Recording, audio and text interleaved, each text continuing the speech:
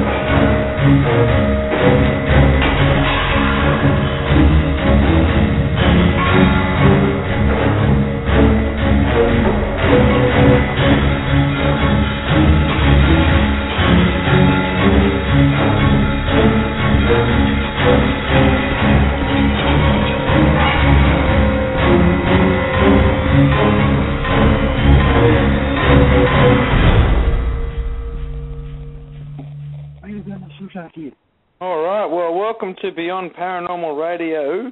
Again, we've got a great show planned tonight. Well, tonight we have uh, Jordan Hofer uh, coming on to um, discuss um, some of his theories on evolutionary ufology and um, also some of his upcoming projects as well.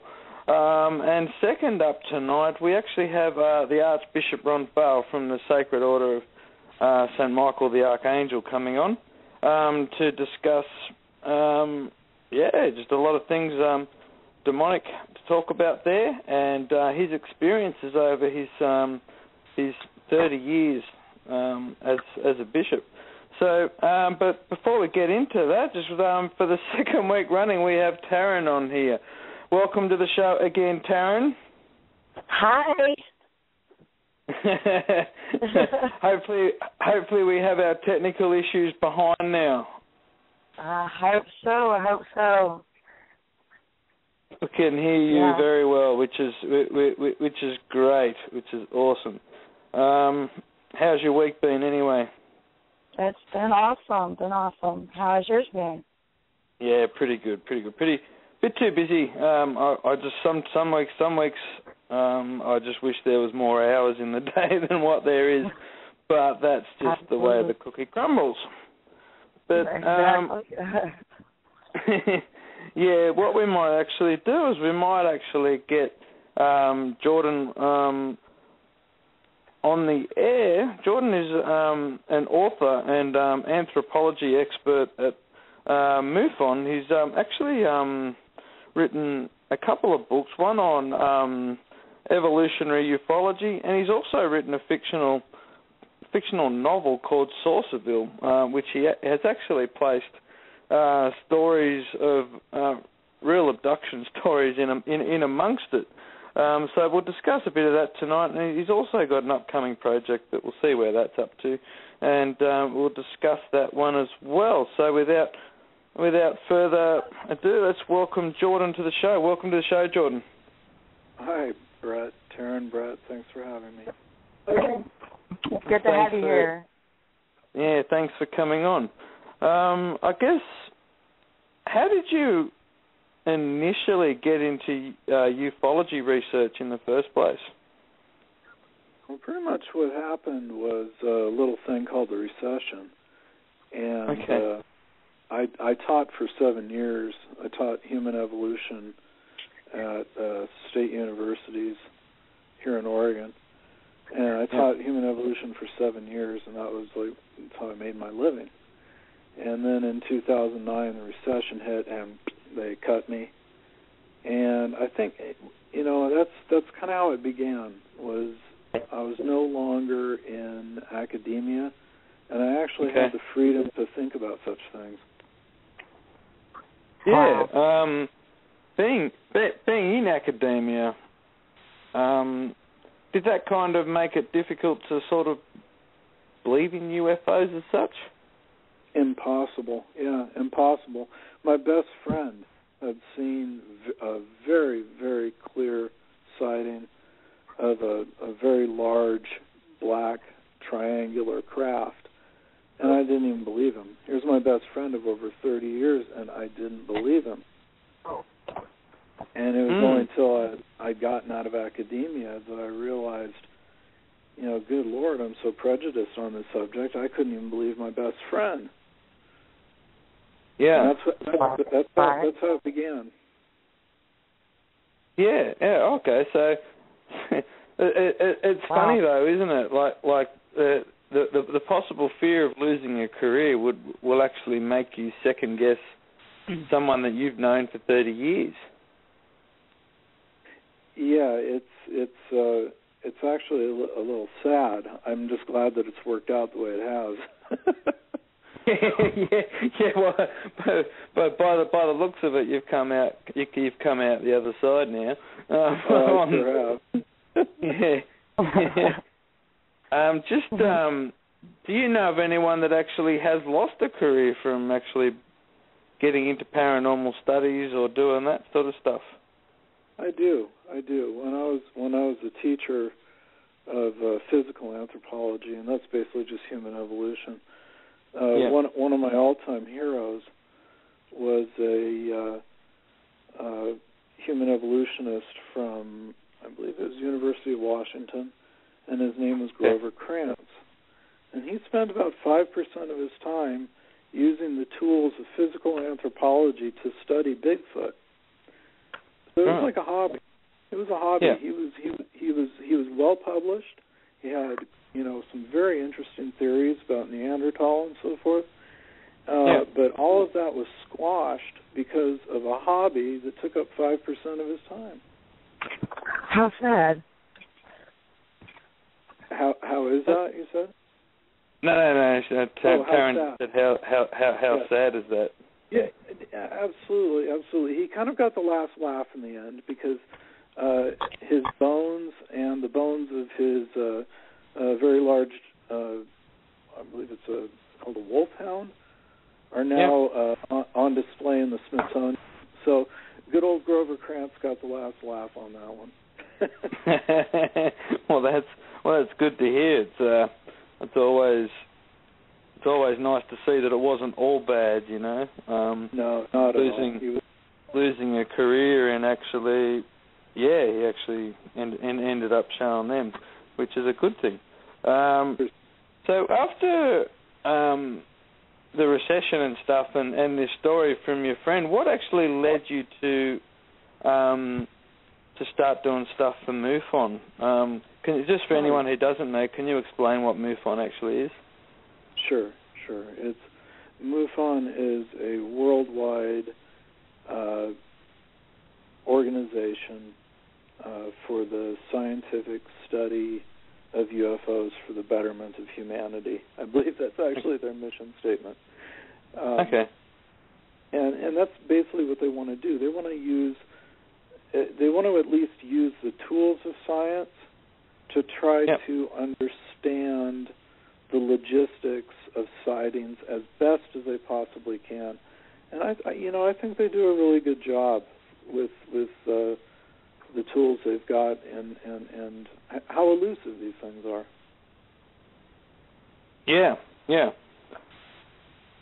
So how how soon after um, sort of you you realised that you're out of academia did you did you start working for MUFON, and on what level were you working for them?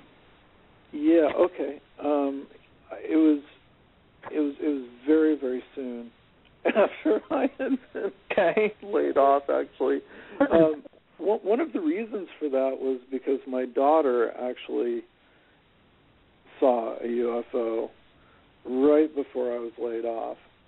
So Oh. that, that that that coincided as well.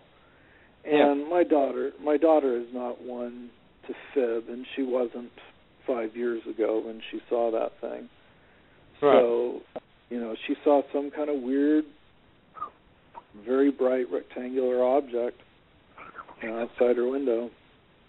Yeah. And uh, yeah, yeah. As far as MUFON could tell, it was uh, you know an unknown. They weren't able to identify it. Mm, Oh. mm. Yeah, my daughter Yeah, I pushed me along on this. Oh, does he? Yeah. Keep, keeps you in line. keep- Keeps you in line on the study, hey?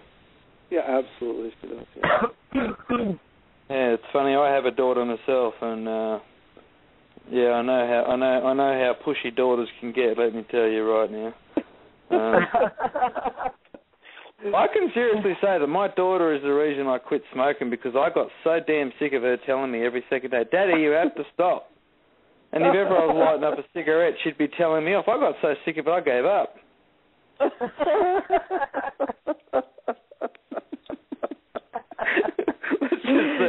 just the, way she is. So I'm very, very, very aware of how pushy daughters daughters can be, and uh, very, very persistent on top of that too. I guess, I guess my biggest question that when, when I was um, looking through all your all, all your stuff and reading up on it, as a as, as an evolutionist, how how did that fit in with ufology? Oh, okay. Yeah, that's a great question. You know, what it, I think, I think for me, what it was. I mean, I, I admit full on in the book that it's a thought experiment. That, Yeah. that you know, scientifically, using the scientific method, you're not going to get anything more really than a hypothesis if you're Yeah. lucky. You know, something that you can either prove that that you can either support or deny with with data, right? Yeah. And uh, what a lot of people call theories, they're not really scientific theories at all. They're really more hypotheses, and that's that's what I realized that book was going to be. But I said, Yeah. I'm just going to do it. I'm going to do it. I said, nobody has ever attempted a hypothetical retelling of the evolution of the Greys from Yeah. their home planet to here. And I, I said, to heck with it, I'm going to give it a shot. You know, Carl Sagan did that with his uh, Jupiter aliens in, in Cosmos. And I figured, Yeah. you know, what the heck? I, I I used to teach. I I think I can do this. And Yeah, so yeah. Uh, it it one one thing about it is uh, I hope that people don't read it and take it too seriously though because there's a lot of stuff in there that I put in there, you know, to be funny on purpose. You know, I Yeah. I think that sometimes ufology gets a little uh, uh, too serious and forgets to laugh. yes, uh, I, I I actually have kind of noticed that myself when I have spoken to ufologists to come on the show and stuff. Some of them are, yeah, I'll just say this: some of them, some of them are very, very serious. Um, get quite cranky. Would you Would you say? yes, yes, yeah, yeah, yeah, yeah. I'm, I'm, I'm trying, I'm trying to be a bit political about it, but yes, yes, pretty okay, much. Well, we're not we're not naming names here. yeah, no, no, no, and um, some of them bite. No. but um, I will say too, like if, if anybody's listening in and, and does and does have any questions, the number's there to call in. Uh, please feel free um, to call in tonight as well. Um, I, hope, I hope you don't mind that, Jordan. I actually haven't asked you yet on that one, but hope you don't mind people ringing and asking questions. Absolutely not. That sounds wonderful. Excellent. So when you actually started out working on on on some theories and stuff, like what was the application of it, and and what sort of theories did you develop? Um, okay, one one of the implications was that you know how okay gravity works the same way here as it does uh, you know, like I don't know, a thousand galaxies over, or Okay. whatever. There, there are certain immutable laws of the universe, and it turns out, and Darwin knew this, that that that evolution by natural selection is one of those natural laws. Yeah. Therefore, if things on Earth evolve by the mechanism of, of natural selection, you can expect that same thing to happen, as I was saying in my book, you know, hypothetically 39 light years away, where, Yeah. you know, supposedly the grays are from and all this. Um, Hmm. and, and, and, and you can apply the same rules because that those those are going to be like I said, like gravity. Uh, natural Yeah. selection will work on an alien planet just as certain as it works here. And so I just kind of played with it from there and tried to imagine what kind of a creature could do the things that grays do. What would explain their uh, their anatomy, their very large eyes, their very large heads, so forth and so on. And I've I've I've done so much teaching in evolution that I could just you know shuffle this like a deck of cards. And I always kind of had a you know uh, as a running theme going through it, almost like Yeah. you know what what would it be like if Darwin had encountered aliens? What what would he have thought? Yeah. Yeah.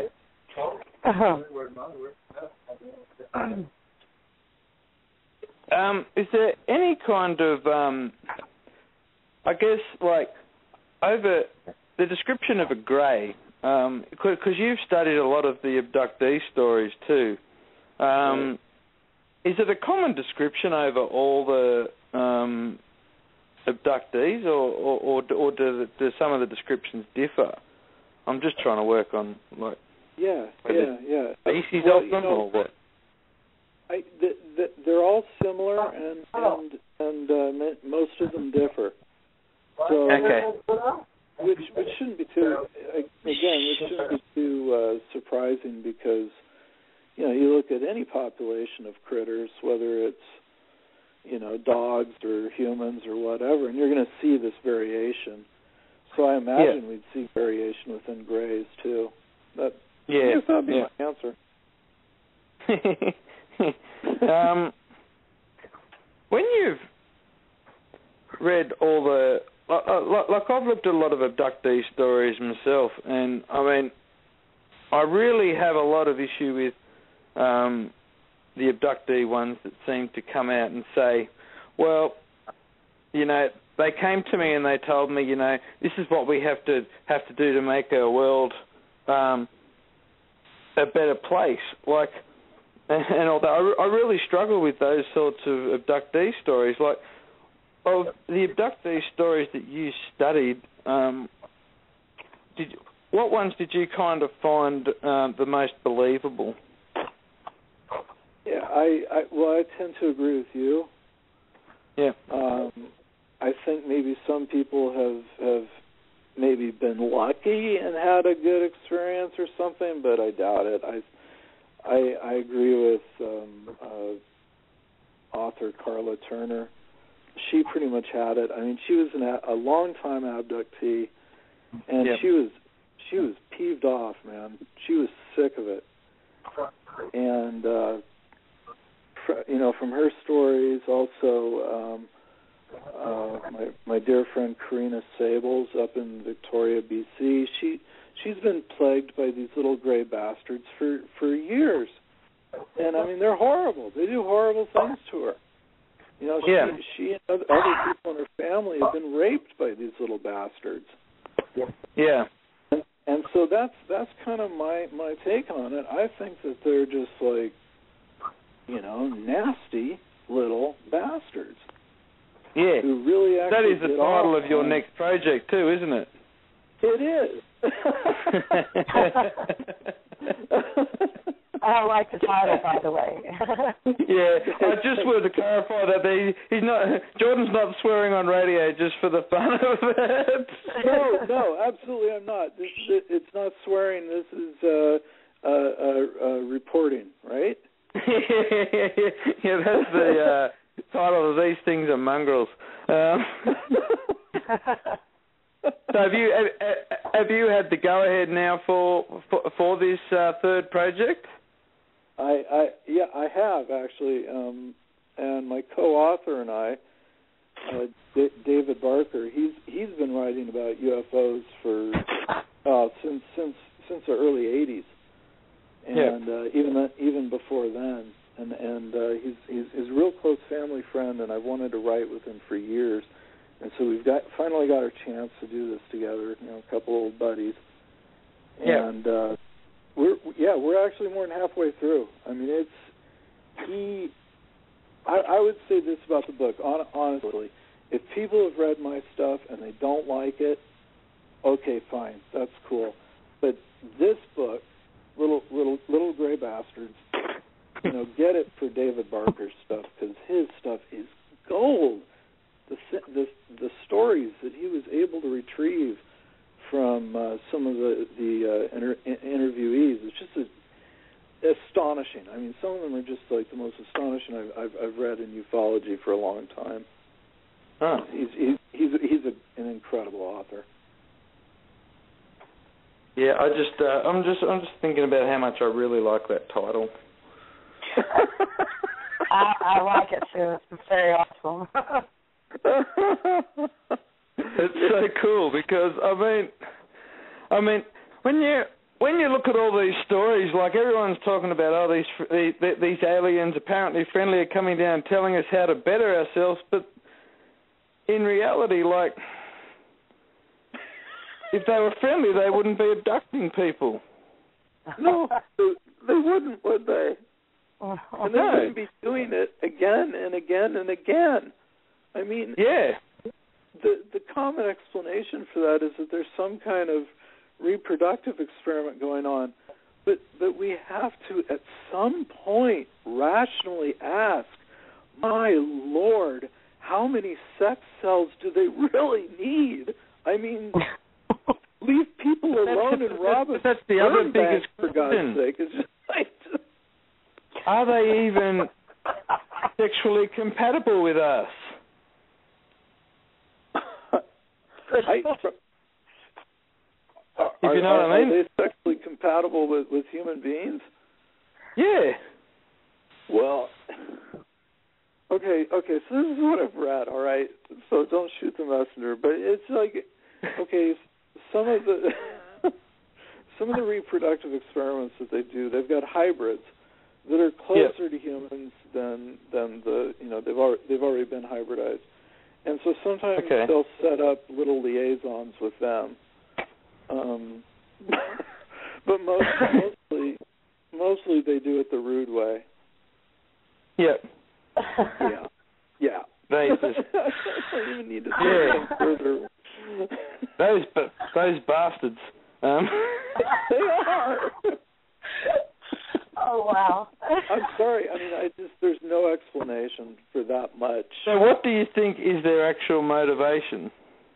I actually think that, uh, uh, and and this isn't my quote. This is from Iv- Ivan T. Sanderson, who wrote a book called Invisible Residents. He was a he was a friend of Ian Fleming's, I believe, who, who wrote James Bond. Anyway, um, yeah, this guy, uh, um, um, he he basically thought that aliens were stupid and insane. Okay. And at first I was like, well, what does that mean? And then I started to think about it, and I was like, you know, you really can be technologically advanced and stupid and insane at the same time. I mean, we got. There kind of are examples of that around today. yeah, yeah, quite a few. Most definitely. Oh wow. Oh. Give us some. Some examples of, of, of what? I have to.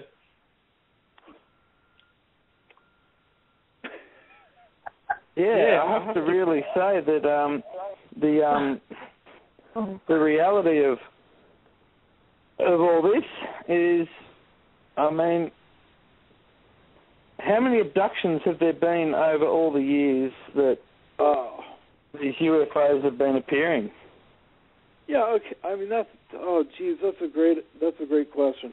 I I've, I've I worked on the book a bit. I was also um, inspired by uh, the guy who wrote the foreword, uh, Butch Witkowski. He's uh, he's fantastic. He, he have you heard about him?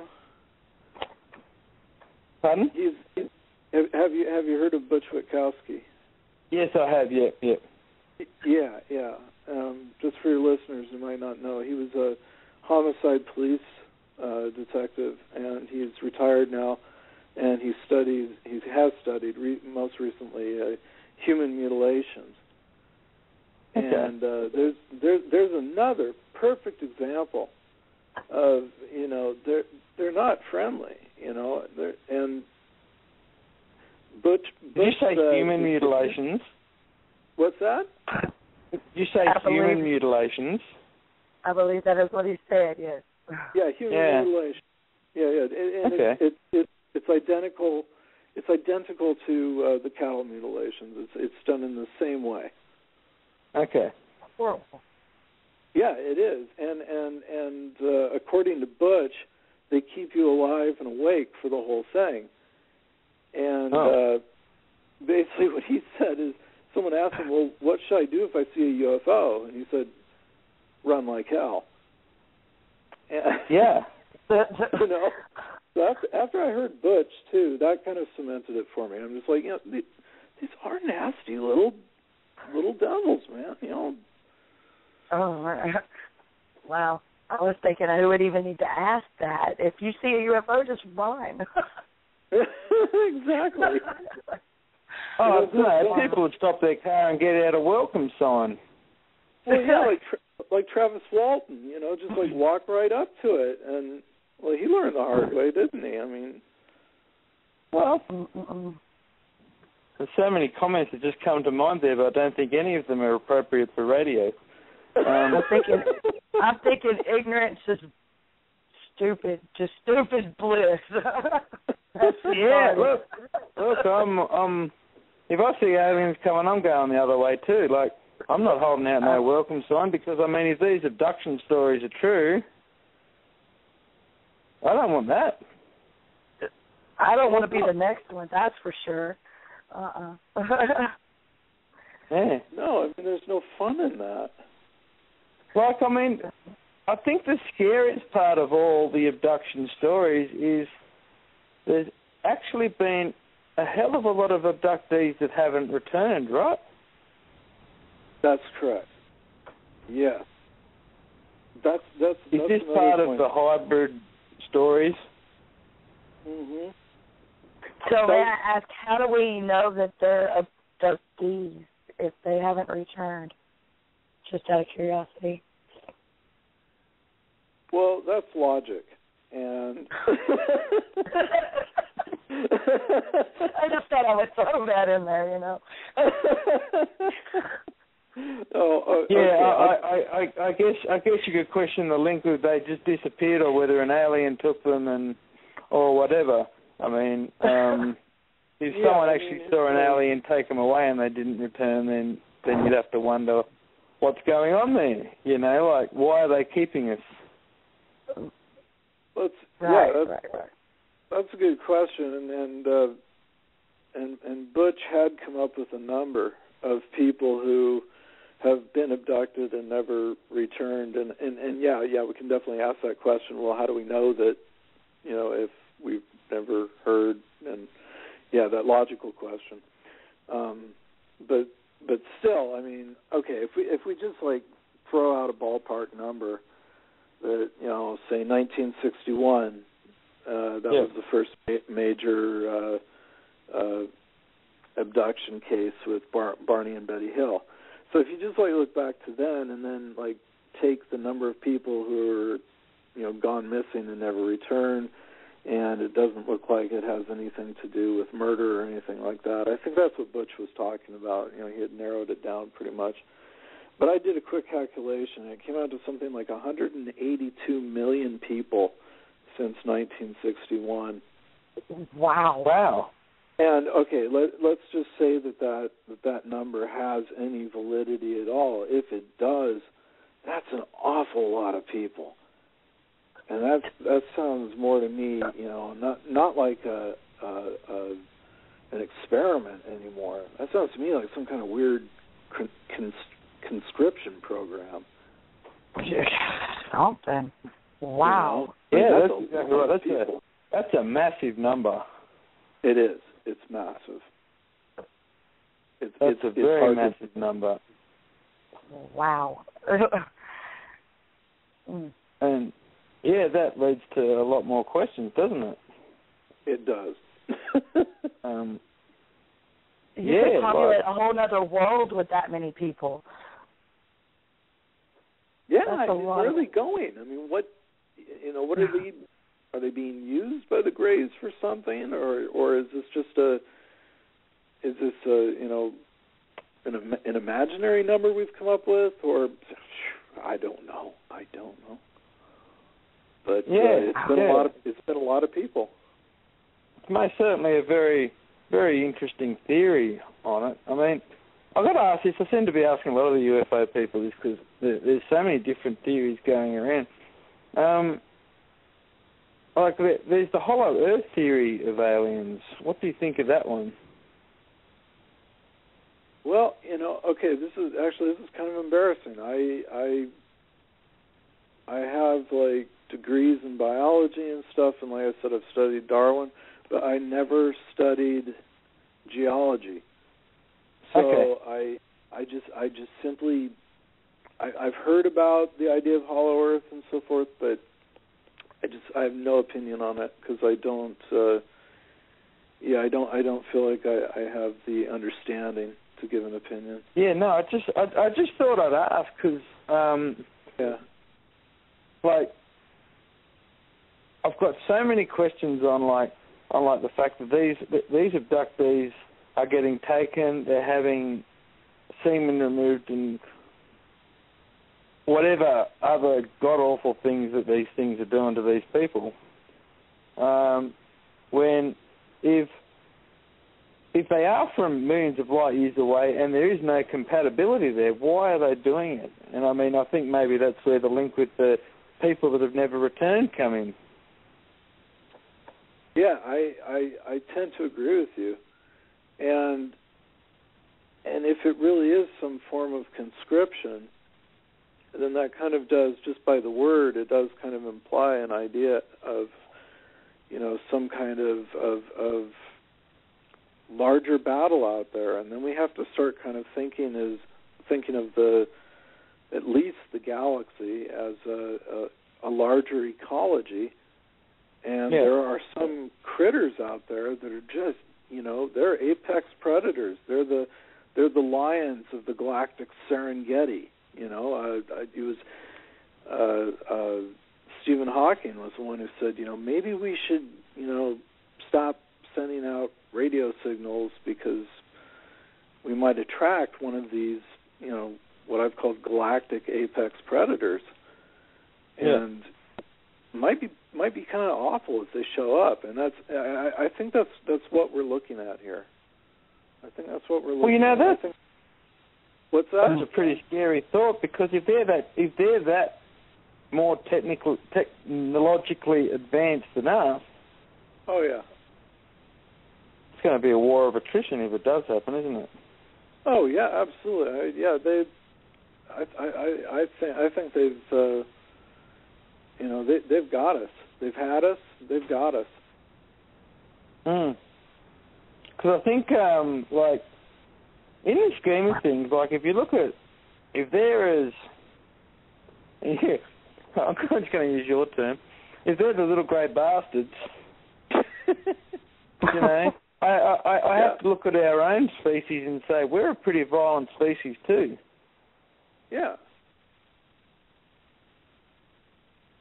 So would you would you say that they're just another version of us, essentially? Well, you know, I mean, it, it's it's it's te- it's tempting to do that, isn't it? Because I mean, they do appear to have, you know, two arms, two legs, a head, eyes, some kind of slit for a mouth. But I think that it's Yeah. kind of uh yeah, I, I, I I'm not sure though. It's never been questioned before whether or not they actually walk on two legs. It there's there's always been you know talk of of of grays as more kind of floating, you know, the ability to to levitate um and and and, the idea that their body is is really small in proportion to the head. And Hmm. uh yeah. So uh I'm not sure exactly what my point was. Oh yeah. Actually actually Yeah. they're kind of like um they're kind of like the like if you could take an ultimate version of us and just turn us into this weird larval thing with an enormous head. You know, Yeah. I suppose that's kind of what we that's, look like. that's the thing. Like, apparently they've got mouths, but they speak to you telepathically. Right, exactly. And they've never they've never So why do they need the damn mouth? Exactly. Yeah. An yeah. extra tool to. I was going to say something, but I'll keep it to torture us myself.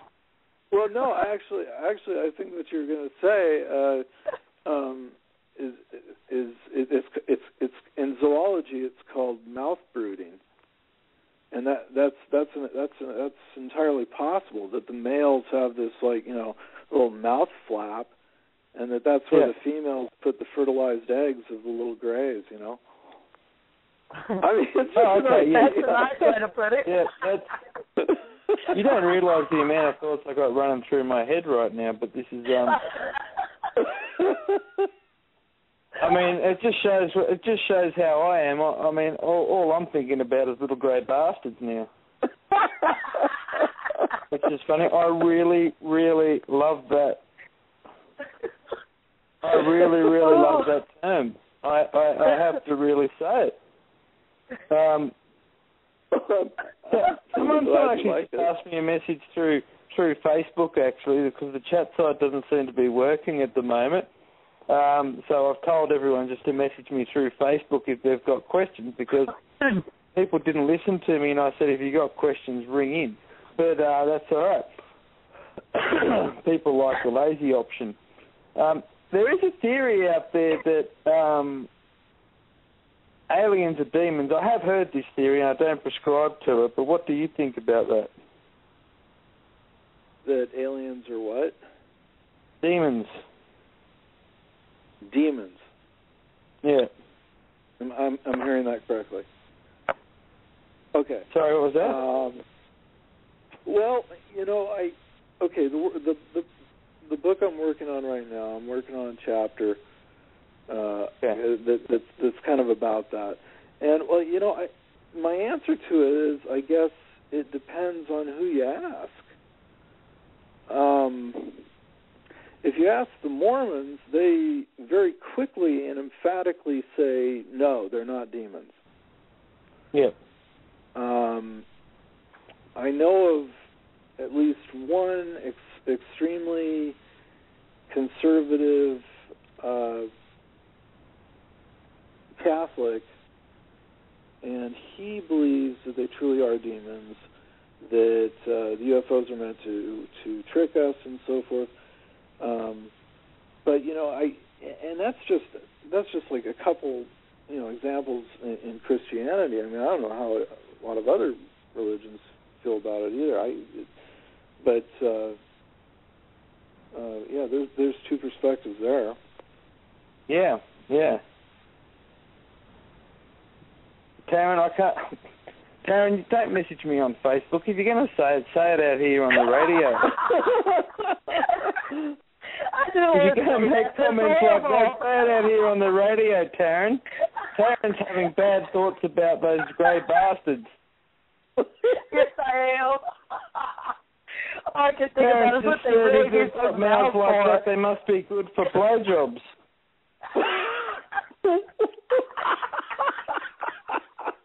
Karen, this is this is this is a family show. Well, not tonight, anyway.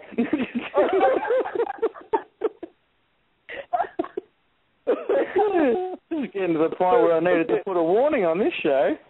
I, I guess so, but but I mean, like, who would they who would they be for? Because the the, the Greys don't have any junk, man. they don't have any junk. Why do they need semen? oh, oh Lord. You got me. I mean, like I said, like if you need that many, just rob a sperm bank and leave men alone. Yeah. Yeah. Oh my No. God, this is just down down a this is just going down a road I wasn't expecting. There. Um, yeah, nothing like losing your train of your thought. Thanks, Taryn. You could have just You're said on there you didn't have to message me on Facebook. Well, I didn't want to just say it out loud. Like she said, this is a family show. yeah, well, well, yeah, I can't help myself. When you message me something like that, I'm gonna, I'm gonna call you out on it, Darren. I don't blame. I, I just lost my whole train of thought when you messaged me that. I've just been sitting here thinking this whole time. I didn't think of anything else after we were talking Yeah. about that.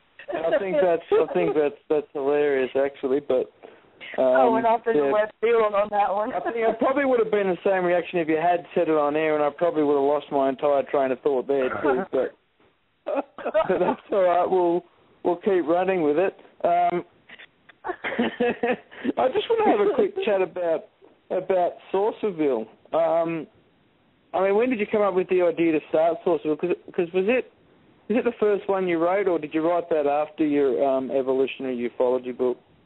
Uh, I was kind of writing them both at the same time, madly, and uh, yeah, that that Saucerville was the first project that I worked on, and it went through a couple iterations until finally I got it right, you know, into a position where I could publish it. Yeah. Um, yeah. Okay, and and and, and you wrote that as it's actually part of a trilogy, so you're still working on the other ones. Is that correct? That's right. That's right. I'm about a little over sixty percent done with the sequel, and uh, it's coming along. I think I think it's better than the first one, but you know, hey, I don't know. I think I know what I'm doing a little better this time around. But Yeah. uh, Well, can you tell everyone about like like oh, I guess I guess how how how the book's set up, you know, like how where it's set Sure. and um and the main character and all that sort of stuff. yeah, sure. Yeah, it takes place in uh, McMinnville, Oregon, which it's only that's only about 20 miles from where I live, and Yep. uh, the place is also known as Saucerville because back in uh, I believe it was 1950, uh, Paul Paul and Evelyn Trent, a couple of you know far, farming folk, uh, they were outside and they they saw this this flying saucer moving over their uh, over their field, and you know you can Google this real easy. Just uh, Google Trent UFO, and they're they're two of the most famous pictures taken of, of UFOs. Uh, the Okay. Trents were, you know, the Trent the Trents were really you know very very honest people and so forth, and and uh, as far as I know, those pictures have never been debunked. So that's kind of how the the tr- trilogy begins. It begins with that actual uh, historical occurrence, and then it and then it weaves my story into it, and then it's kind of like okay, cut 50 years later, and you get to meet these kids who are quite quirky. Uh, Yeah. they're yeah, they're they're they're kind of like I I, I guess I guess the shorthand uh, introduction to this would be kind of like Harry Potter UFO. Only you know, Okay, yep. is- you know, only this has like you know really bizarre and scary experiments on uh, on board alien craft, and I mean, Yeah. I it, So it, this it really is be- a, a, a horror a, a horror novel. Well, it really kind of is in parts. the the first The first half is almost comical at, in in points, and then yeah, Okay. then the second the second half it really does kind of turn into uh, uh, communion for kids. Okay. Yeah, and Yeah. and and and the, and the second book it has to deal with the the military industrial complex and uh, you know the whole question of what's more human, like an alien or you know someone who can just wipe out an entire Afghan village and you know feel happy about it. And so the second book is extremely subversive. Yeah. And then and then the third book is just uh okay, I've taken you through a lot of hell, so we're just going to have a fun time kind of book. That's that's the plan. Hmm. Yeah. Well, I mean, I I think it's a an an amazing thing to do it with actual with actual real abductee stories mixed through. Yeah, that's what's fun because you know I can name things throughout the book, and you know if kids are reading it and they want to know more about it, they can just Google stuff that's that's in right there in the book. And Yeah. that's the idea that you know with Harry Potter, you close those books, you put them on the shelf. Hogwarts goes away; it goes on the shelf. But with these books, you you close them, you put them on the shelf, and all you got to do is go out uh, on a summer night and look up at the stars and try to see a UFO. You see, it's like it, it, it's it's almost like the the the idea was, uh, you know, take take take this with you and think about it. Yeah. Yeah. Oh God, Yasmin. One of my one of my friends on Facebook actually sent me a picture of a of a scantily clad alien lying lying down on on velvety material with a sultry look on her face.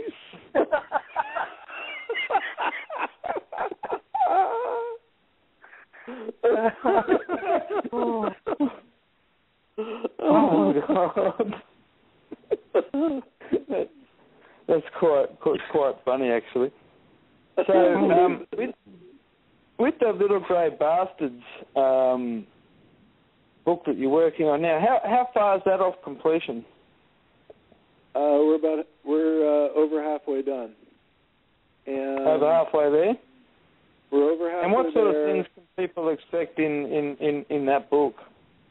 Okay, th- th- they can expect a, a total 180 from evolutionary ufology. I I don't I don't dink around and say, "Oh, well this is just a hypothesis," or I don't talk about that at all. I just get right into the right into the stories and Yeah. uh you know, I I I I had correspondence with with two abductees, and I kind of let them tell their stories through me. Um, Yeah. My my co-author David has just like the just this huge bucket of of high strangeness of stories Yeah. that this that this that this man lived through through his life. I mean, it's just amazing. He like uh, you know interviewed this guy, and and and it's a very very long chapter, but it's well worth it because all the weird stuff that this guy reports having happened to him it's just it's solid gold. I mean, I, I, Yeah. I feel so lucky to be working with David because he's he's he's fairly well known in the in the uh, the horror genre, specifically the you know H.P. Lovecraft, um, and so he's just he's just a blast to work with. So and and and I think it's really going to come out in the book. I think when people read the book, they're going to be able to tell that two old friends did this together and had a great time. And I think that that attitude will help the book be very interesting and uh, enticing. And then there's the title. yes, and the title. Yes, you gotta love that title. Like that. That is the most unique title ever. Little Grey Bastards. Um, I really, yeah, I, I really went to when I when- when I was reading up on you and I read that and I I, I saw that title. I went, wow, that's that's really catchy. And just on the title alone, people need to buy it. Um, Thanks, Brad. That's, that's But, pretty much what I um, was what would you say of, of all the abductee stories that, that you've that you've that you've um, read or heard? What would you say is the most horrific one? Oh Lord. Oh, okay, okay, that's boy. So I probably put you on Well- the spot with that one. Yeah, yeah. No, well, no, it's no problem. Um, you know, to be completely honest, and and you know, it's it's kind of weird, a guy who's in ufology admitting this, but I mean, I mean, and this is just the first thing that's coming to mind, mind you, but Yeah. I never, I never was able to finish reading Whitley Whitley Strieber's Communion. I couldn't do it. Yeah. It it it upset me so bad. I think I got to page like I don't know 112 or something, and it was it was freaking me out so bad. I just I, I had to stop reading it. Oh. So so I don't know if I'd say that or boy, they sure put Karla Turner under some hell. I mean, it, what what they seem to do to the women especially. I mean, yeah, yeah, yeah, yeah, they probe the men and all that. But the women Yeah. really get the reproductive runaround, man. I mean, they get like, you know, impregnated, their fetuses get taken away. You know, I mean, it's just and and and, and with them it happens like say it happens to the grandmother it'll probably happen to the to to her to her daughter to the mother and to her daughter the you know the So it follows family line.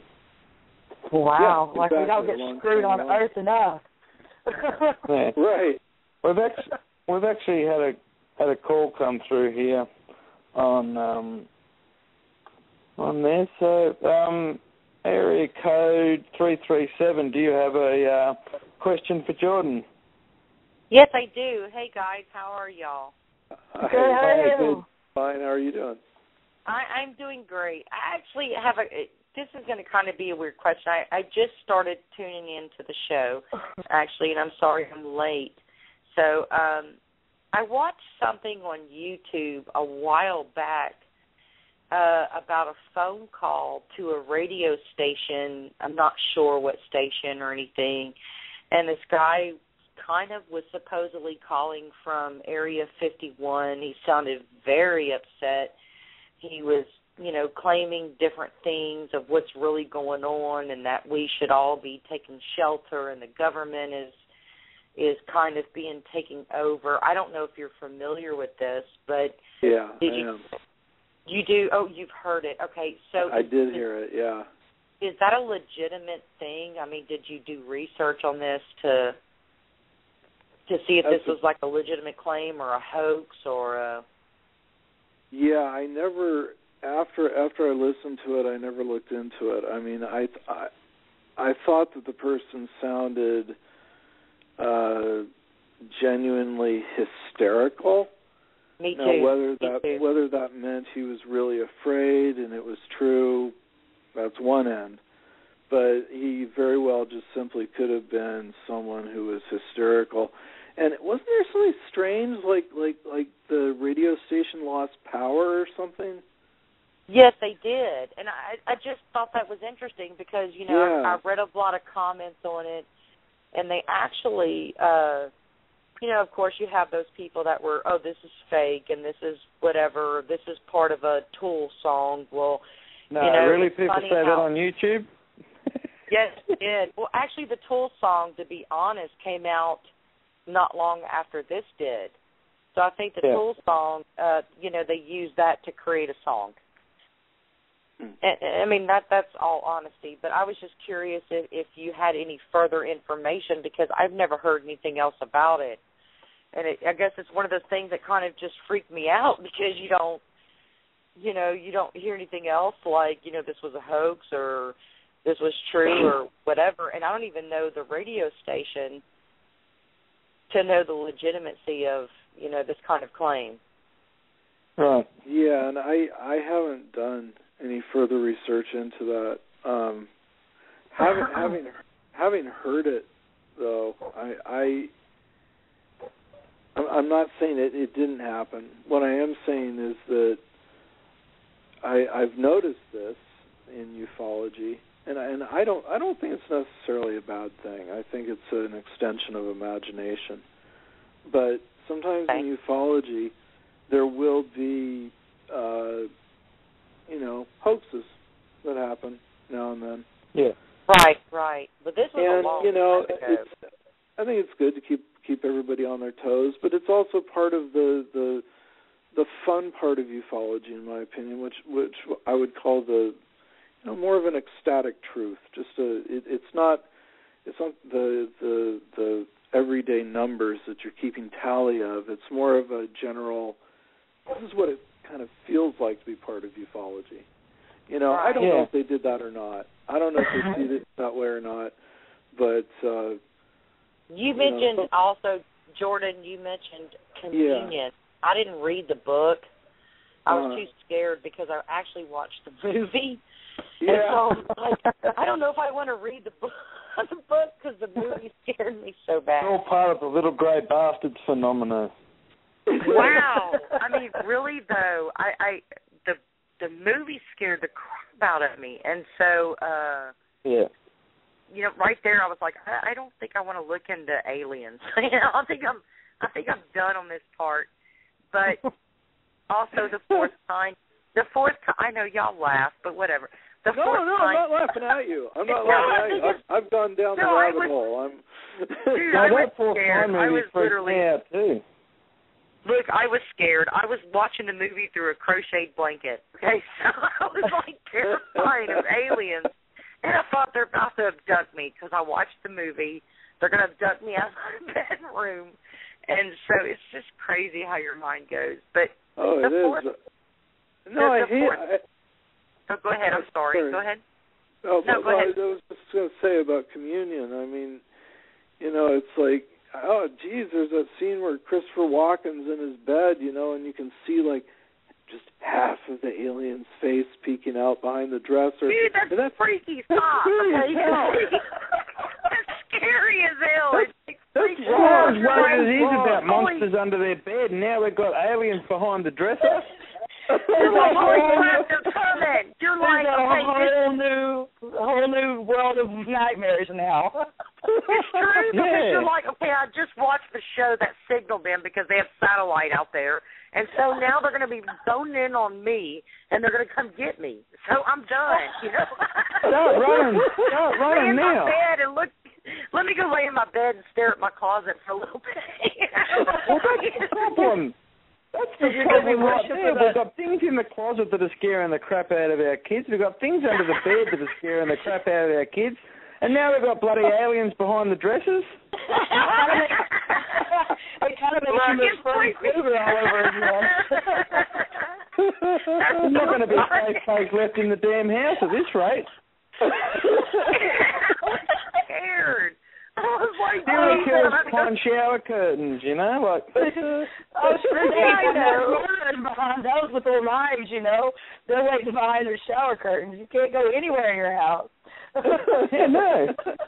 Absolutely not. I mean, your your safe haven was your parents' bedroom, so I was literally about to go and sleep in there because you know the aliens aren't going to get me in there for some weird reason. But you know, I'm screwed if I'm in my bed by myself. You know, and and hmm. Lord forbid don't hit, lay lay a limb off the the side because it'll come get you. You know.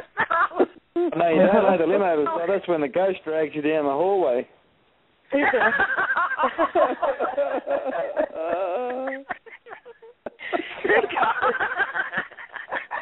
and you know I had a long hallway too, so it was like a hop, skip, jump by the time I look. I I literally floated or flew. I don't know. I did something down the hallway and it was in my parents' bed because that was that's it. Didn't watch communion. You know what's weird is you you y'all are on this show, but Fire in the Sky was on last night, and I just thought that was kind of cool because that's an interesting story also. Did you, Yeah. Oh, and yeah. Jordan? Did you look into that one too? Oh, for sure. Yeah, no, I, I have. I've I've read a book about about that uh that affair and about Travis Walton and he actually he actually came here to Oregon about oh what was it about two two years ago. There every every year we have in McMinnville we have a uh, UFO festival for the the the Trent sighting. And it's really Right. cool because because we get we get a lot of uh uh you know really really kind of interesting ufology folks. Uh, uh, last Right. year we had we had Nick Pope, if you've heard of him. He was uh, Yes. Yeah. Yes. yeah, um, yeah. It was it was really good to meet him, especially because I I was able to ask him to uh if if he'd look at my book. So you know that was great. He, he's a really nice guy. You know, there that's one thing. That's another thing I've kind of noticed. I mean, this is true anywhere with any group of people, but you know, they start to say something, you know, and they'll be like, "Oh, I don't know about so and so," you know. It's like, "Oh, come on, you know, are you really going to bring that in here?" Right, Do you really have right. to do this? Oh, but what was your theory on his seeing humans in eh, where he was taken, oh, or human-like oh, oh. things in, in that story? Yeah. Sure, sure. I mean, I you don't know. I mean, I don't, I, I don't know. Maybe he, maybe they really were. Maybe they were uh, under some kind of mi- mind control. I, I don't know. Maybe there, Mhm. maybe there were screen images that that the Greys were using to, you know, calm them down. You know, I, I know, I know I'm a lot more calm when I see, you know, human beings than than than Greys. So Right, right. I, I don't know. I mean, these are just some guesses. I, I I really don't have an explanation for that. The only the only one that I get kind of exasperated with is when people talk about like the uh, the tall whites and and so forth. Uh, have you heard about them? No, I uh, are you asking me or Brett? I don't know. I've kind of Well, you you and Brett. no me. I've never heard of them. No, just the Grays. Brett, you ever hear of the tall whites? And they're not a basketball team. Um, I've, I've only No, that would be, that would be different. I've that only would be really- actually I've only really heard- I've only really heard about those in relation to the Men in Black phenomena. Ah, got it. Oh, so, but tall for the Men in Black, really? Yeah, Men in Black. Some of them. I guess I've never heard From of them being heard. described as tall. Just, um, I don't know, Men in Well, Black. taller than your greys. Because your Well- greys are well renowned as being quite short, aren't they? Well, yeah, there, there's usually two kind of grays. There's the the little short ones are about three and a half, four feet tall, and then you've got the the other ones that are that are about you know five, five and a half feet tall. And Yeah, and and the taller taller the taller the, the taller ones seem to be contr- controlling what's going on, and the and the little ones just kind of like run around doing munchkin work. Like ants. Okay. Yeah, yeah, yeah. Like yeah a lot, a lot, a lot like ants. A lot like you know, or wasps, or any kind of critter like that. Yeah. Wow. All right. Okay. Well, That's crazy. Jordan, I want to I want to really thank you for coming on today. Um, oh, well, thank you very would you much. like- Would you like to just let everybody know um, where, where where they can get a hold of you and where they can get a hold of your books and all that? Sure, sure. You know, always going to hold me. excuse me. Uh, I have a an Amazon web page, and if you just you know go to Amazon, uh, punch up books, and type in my name, Jordan Hofer, uh, you'll see everything that I've written and everything that's coming up, and uh, there will be some fun stuff over the next couple of years. So I'm really looking forward to it, and and hopefully coming back uh, on this show. This has been a blast. Yeah, yeah. Well, I mean, you're, um. I think uh, I, I think um, when Little Grey Bastards, I just love saying that now. Um, when that officially comes out, I'd love to have you on again. You know, because I'm pretty sure we'll, we'll have a lot to to talk about once that comes out too. I'm sure we will. Well, thank you Yeah. very much. Thank you, both of you. Thank Well, you, thanks very Thanks. much for coming on. It's been it's been an absolute blast, and um, I never thought I'd find a saying so much fun. But anyway, and um, yeah.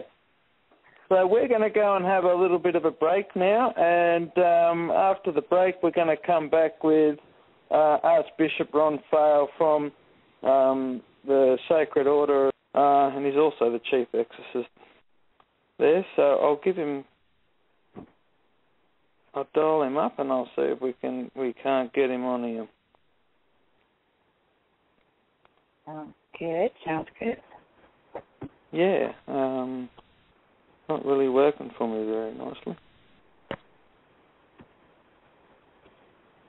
Yeah, no, to be going through for some reason. It's um a great thing.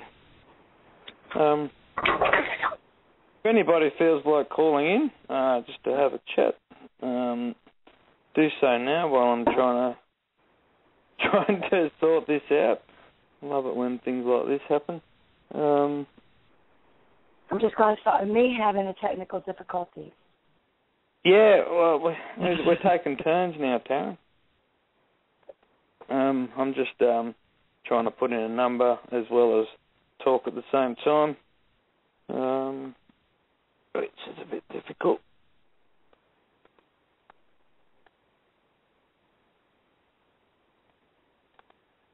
Let's try again. at least it's dialing. Hello? Hello, is that Archbishop Ron Feyl? Do you know that I've been trying to call you? Have you? Because I've been calling you at the same time. yes, yes, the phone rang twice. Yeah. And uh hold on one second, because I'm going to turn. I have my computer on, and I need to turn you off for a second. Yep. And I'm sure you'll understand. Okay, now, and you're actually still on. Hold on one second. Yeah, it's Okay. Can you hear me? Yeah, I can hear you very well. Okay, well, uh, I have to tell you, every time I'm interviewed on, on the phone, Yep. uh, there's always some type of technical difficulties. And the way I explain it is that, no doubt, the demonic forces are all around us. And Yeah. anytime any of us use uh, an instrument such as a telephone or even a computer for that matter, um, we always seem to have technical difficulties. And I think the demonic Yeah. actually gets into electronics. And when that happens, well, obviously there's a there's a problem in terms of the Yes. uh, of getting a connection. But any case, uh, th- this happens to me every time. Yeah, well, this is well, well, you're Wow. on here now. Let's hope. Let's hope we have a uh, have a issue-free time going on. Um, I think that'd be that'd be really good. So, um, Archbishop, welcome to the show. It's um, it's, it's really awesome having you on here. Um, you've been doing this for like 30 years now. actually it's pretty close to 34. Wow, Yes, it's wow, like that that's in, that, that, that's incredible. How did you like? Yeah. I, I know you. I know you're a bishop, but how how, how does a bishop get involved in exorcisms? Well, this is a, a specialized ministry, if you will.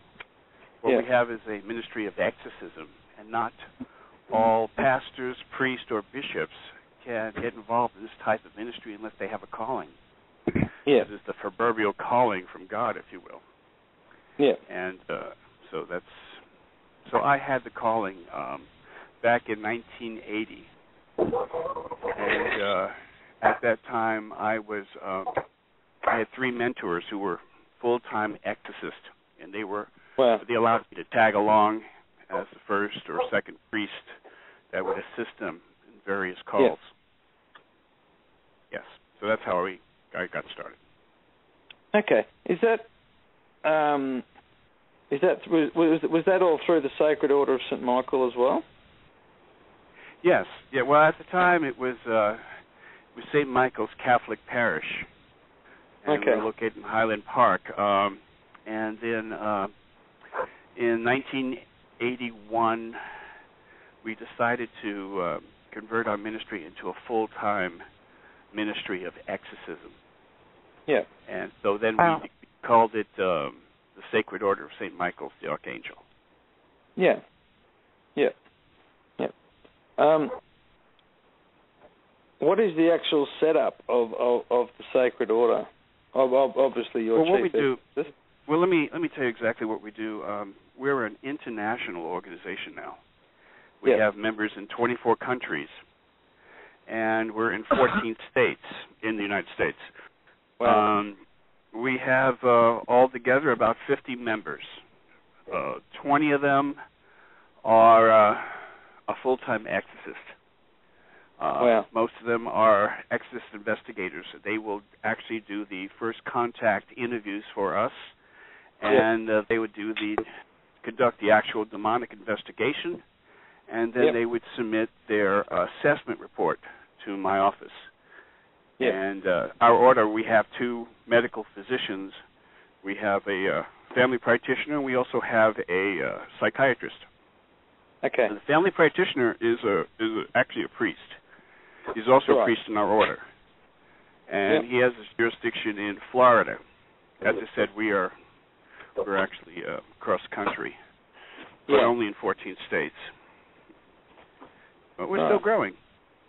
Yeah. Well, uh, I mean, what we do is um, we get calls from around the world, actually, in regards to um, uh, requests for uh, an assessment in regards to Yeah. anything demonic.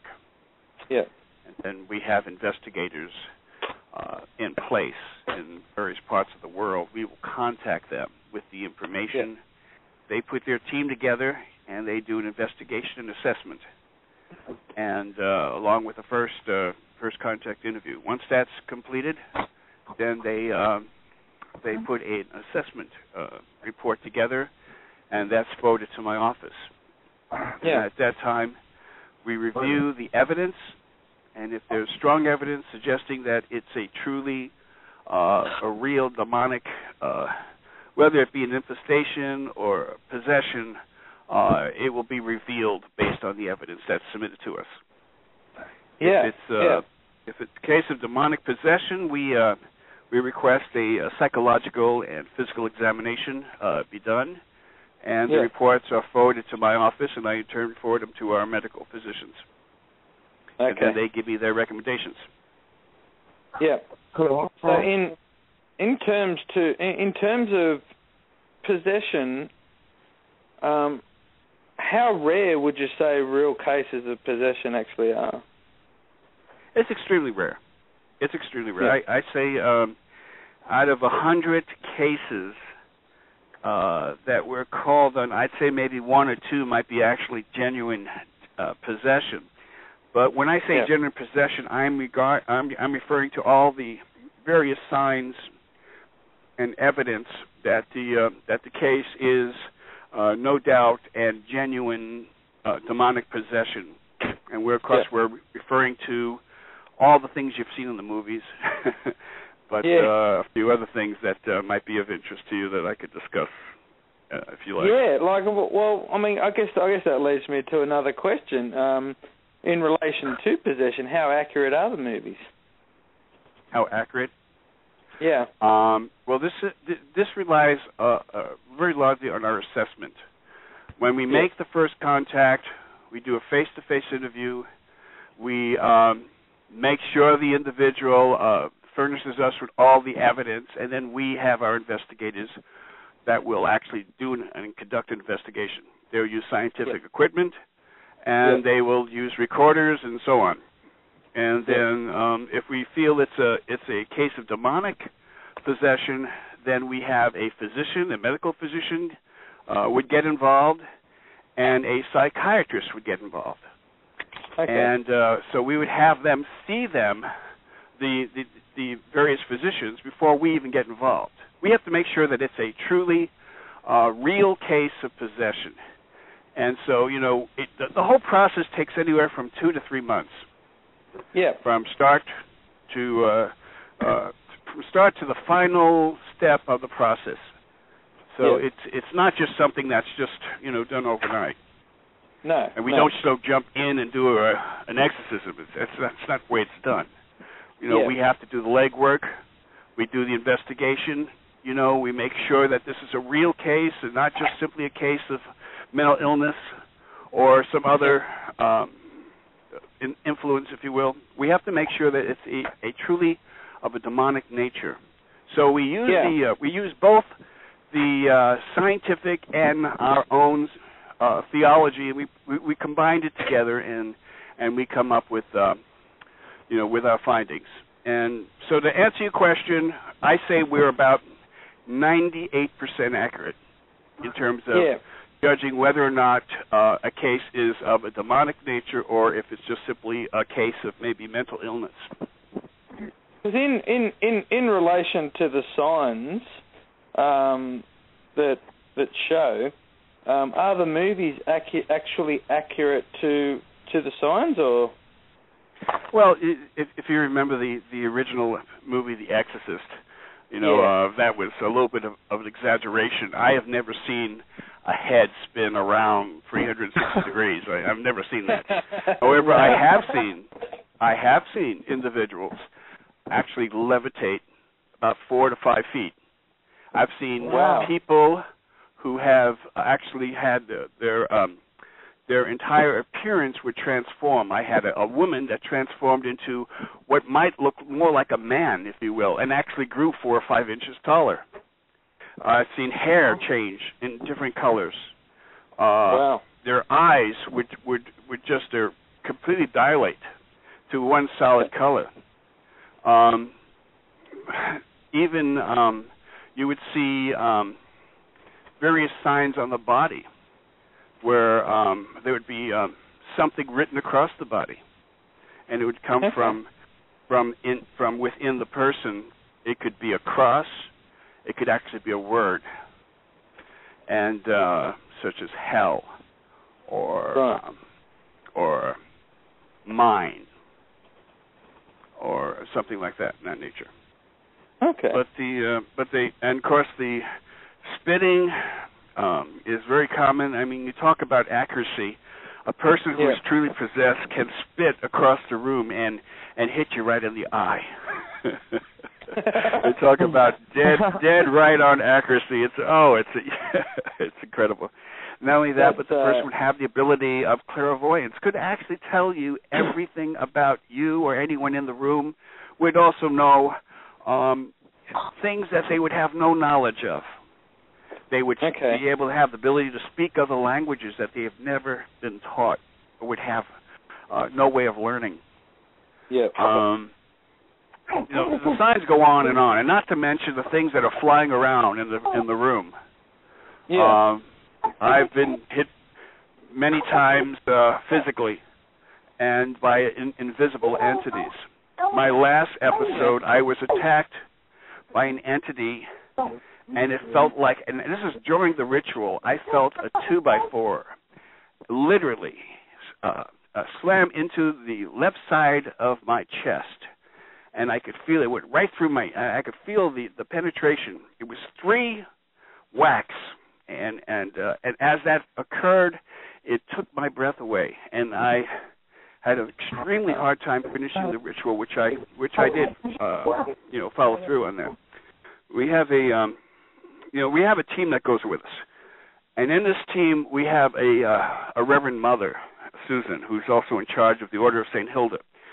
She Oh, okay. comes uh, also in as a support measure, and um, she came one time uh, at one of our last uh, episodes where she placed her hand on a wall that was um, said to be some type of vortex where demonic or negative influences were coming through this wall. Now she Wow. is a, a physician. Uh, she's actually a, a physicist profession okay. and so she's a scientist. So she had to examine the surface. She wanted to feel either there was a heat or vibration or something, something totally abnormal. And so she tried. And of course, this is after I had instructed her not to touch anything. But she she had to she had to uh, she had to experiment. So she placed her palm on the wall, and she did not feel any heat, any vibrations, uh, no form of moisture. Uh, it was just Wow. just normal. And then as we left the house and we were in the car, she looked at her hand and it was a blood stain all over the palm of her hands. She could Wow. not wash it out for three days. The stain remained on the surface of her hand and on the palm of her hand. I believe it was Yeah. the left palm. And that was quite interesting. We had a, a lot of other interesting adventures, if you will, if you want to call them that. But Yeah. um, it's uh, it, it's been a it's been a ride. Yeah, most definitely. When you're experiencing things like that, that's pretty. That's pretty I, I might also and add too actually couldn't wash that last off for two attack, days.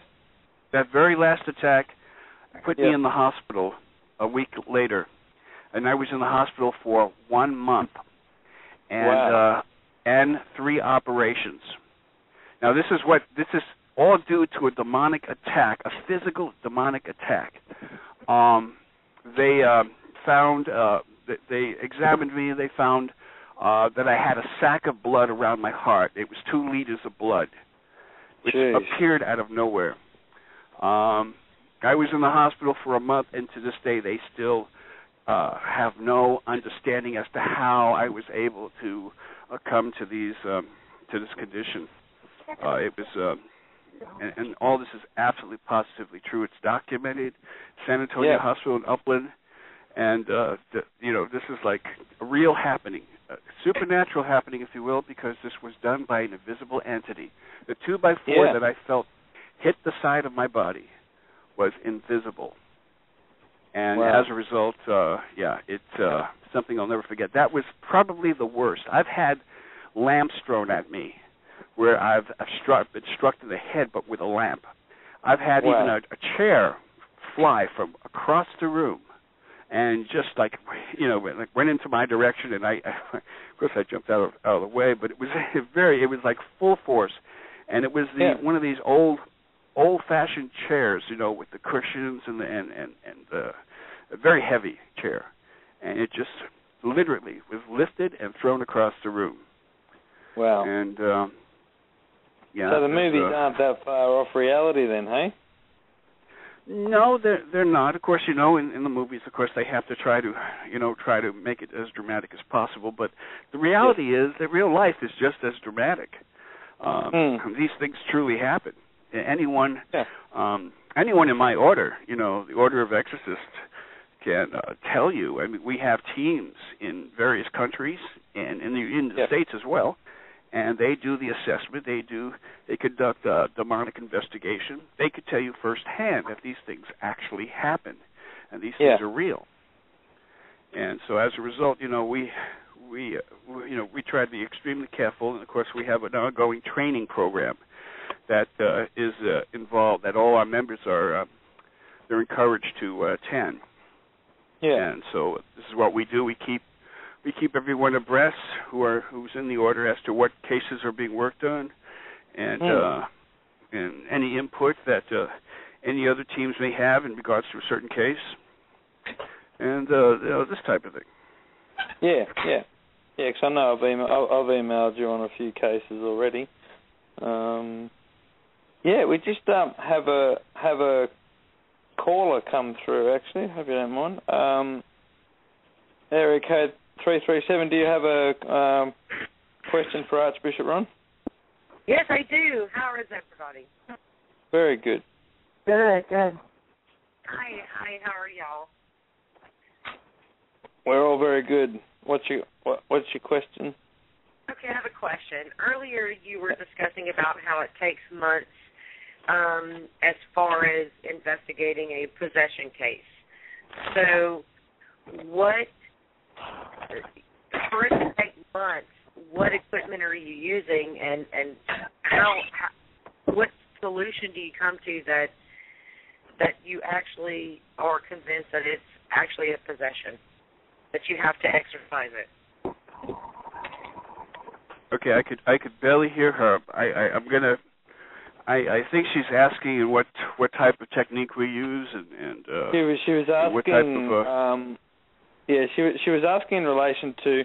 Um, she was saying what what sort of takes months, and in the investigation of of it, what equipment is used, and how Mhm. do you come to the final decision that this person is actually possessed and needs an exorcism? Okay. What what we do is we have investigators that are paranormal investigators and use the various equipment uh you know that could uh, trace uh, infrared uh heat sensor the, whole nine yards. I'm not a paranormal investigator, but I'll tell you that we have people who are and they have all this electronic equipment and of course they gather all the information and uh, and they they incorporate it into their assessment. Now this inc- also includes videos, which I could understand that, of course, uh, and, and as I view it, and, and I'm watching the interview take place, the first contact interview, this type of scenario, and uh, so all that information is forwarded to my office, and at, the, at that point, we review everything.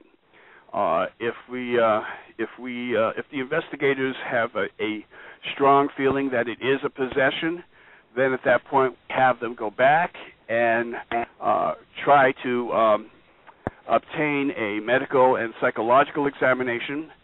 And uh, many people aren't in position to to afford these type of things, but again, we refer them to free clinics.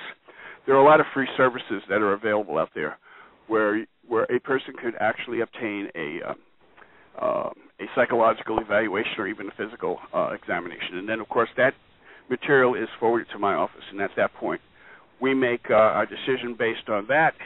If for some reason um, the medical um, has no, um, they can't explain why this individual is being levitated four or five feet up in the air, uh, why things are flying around, and uh, other things uh, uh, that is completely abnormal for an individual, for a human being, then they would tell us so, and then we would make an assessment based on that. Uh, we have a psychiatrist who would also review the psychological reports. Um. If there's a, a case or history of some type of mental illness, then of course we look further into that. But we will not do, or I will not authorize an exorcism for the sake of just simply um, saying, well, let's go through it because they're they're telling us that they're possessed and we have to take their word for it. So therefore, we're going to cater to the way. It doesn't work that way. We have to make sure that we're totally, completely convinced that it's a real, real case. Well, what and makes if you? it is, what makes you? Let, let, let me interrupt you because I want I want to know what makes you on a, on a psychological level. You know, some people consider different things, like uh, if you're schizophrenic or if you have uh, multiple personality disorders. They may not consider that of a demonic nature, but some people do. mm-hmm. So, so let me ask you this: So, what on a psychological level do you consider that it's actually, you know, a possession that they need to be, it needs to be exorcised? Well, being being that I'm not a psychiatrist, um, but we do have a psychiatrist who Right. uh, who's who's on staff. They would. I'm sorry. No, I'm agreeing with you. Yes. Oh yes, uh, they would make the uh, you know the diagnosis, and then they would make their recommendations to me. Now, if I see something on tape where which suggests that there's something more than just a uh, uh, what might appear to be a um, some form of psychosis, where the individual is speaking in different languages, maybe multiple languages at one time, where the individual has super strength that uh, that we, we catch this on tape, or if we see something that cannot be explained scientifically, that gives us uh, the the motivation to continue to go on and authorize uh, an exorcism. But we Yeah. have to be thoroughly convinced that it's it's a true uh, a case beyond a shadow of a doubt. Right. Yeah. And how often does this happen? How often? It's it's so rare. It, it, as I said, uh, out of a hundred cases, maybe one, maybe two might be actually genuine. Most of the time, it's either uh, demonic oppression, or it's uh, it could even be a demonic infestation. And uh, and if that be the case, well, then obviously there are other ways that we would handle the situation. So a Yeah. psychiatrist that comes in and says that, uh, I'm sorry, Brett, excuse me. A psychiatrist that comes in and says that, um, no, this person is whatever, they diagnose them. You're okay with that, even though possibly And- you feel I'm different? so sorry. I can I could barely hear you. Okay, Can- can you hear you- me now? Can you, can you can you hear me now, sir? Um, just just barely. But but but continue your question. Right. I'll try to make it out. Uh, uh, Brett, did you hear my question? Yeah, she was uh, she was asking about um, on on on the psychological level. Um, Is that is that sort of what you were asking? Was it that uh, on on on a psychological level, weeding out possession? Yeah, because Um, I think it's kind of. I think. I'm guessing Brett, if I'm, I'm guessing what she's saying if all the if all the signs aren't sort of there, like like the speaking in tongues and all that sort of stuff, um, can can a can a demon on a psychological level hide behind a mental illness? Well, you know, I, I'll tell you, uh, a demon could try to hide, but we have ways to reveal them. Uh, and as a result, uh, we use uh, weapons like in our arsenal, such as holy water and holy sacraments. Um, the person who's possessed will become extremely irritated, uh, so much so that uh, you will see a change in that person physically and you will know beyond a shadow of a doubt that that person is possessed. Uh, and this is, uh, you know, and, and in regards to psychological, um, you know, if it's a psychological problem, then we have the psychological profile um, done, and then uh, you know the report is submitted to our to my office, and, and we in turn submit it to our uh, physicians, and they will look at it um, from a scientific point of view, and if they feel that you know that this isn't a psychosis or some of the things or some of the answers um, are not explainable, then we'll look further into it. Because at that point, you know, we we have to we try to assign, assign a priest to the case, and that's after we get the green lights from our physicians and and from um, our assessments based on the physical evidence that's provided to us. Hmm. Wow. Hmm. Very interesting. Thank you, Brett. No worries at all. No worries at All all. right, guys. Y'all, y'all have a good night. I appreciate that. Uh, Thank I you don't too. you can hear me. Can you hear me? But thank you. No worries. Have a good night. Did All she right, say thank bless you? Yes. God bless her. No, if he can hear me, I feel so bad. So anyway, thank you. He did answer my question. So anyway, guys, um, I'm gonna continue listening in, and um, anyway, have a good night. Okay, You you too. too. You too. All right, You honey, bye. I, I'm Yeah. so sorry. I really couldn't hear her. No, no, that, that's okay. It seems to be um, just Were you one- having a one of problem? things Were that you you able to get hear her? sometimes on here. Yes, yes. It's a, you know, it, it's a, it's a problem, I, I suppose, at times. Um, I but think it's a blog unfortunately, I just thing. couldn't. I couldn't make out what she was saying. Yeah, no. Yeah, yeah, no, I think I- that's a, a, a common thing on here. Like sometimes uh, I don't hear Taryn, my co-host, all that well, and then when I go back Well, and listen to the archive, she's I- actually quite clear on the archive. Really? Okay. Well, well, well. Actually, I, I hope I was able to answer a question. I, I, I think it, it's yes. very. I'm sorry. I'll get her to I'll, I'll, I'll get her to write it out on on the on on through through Facebook there, and I'll see I'll see if um if that was answered. Yes, she said she actually said that you did answer it. That's great. Oh, Good, that- well, good. well, tell her thank you for, for the question. Do you know that um, most people are not familiar with the process? There's an actual Hmm. process that goes on, and we have we have a a procedure to follow. We have a criteria to follow, and of course, this is what I instill upon our members who are investigators. They have to follow a procedure, which is to collect as much information as possible. And if they could tape the interview, the first contact interview is extremely important because you can tell as to what takes place.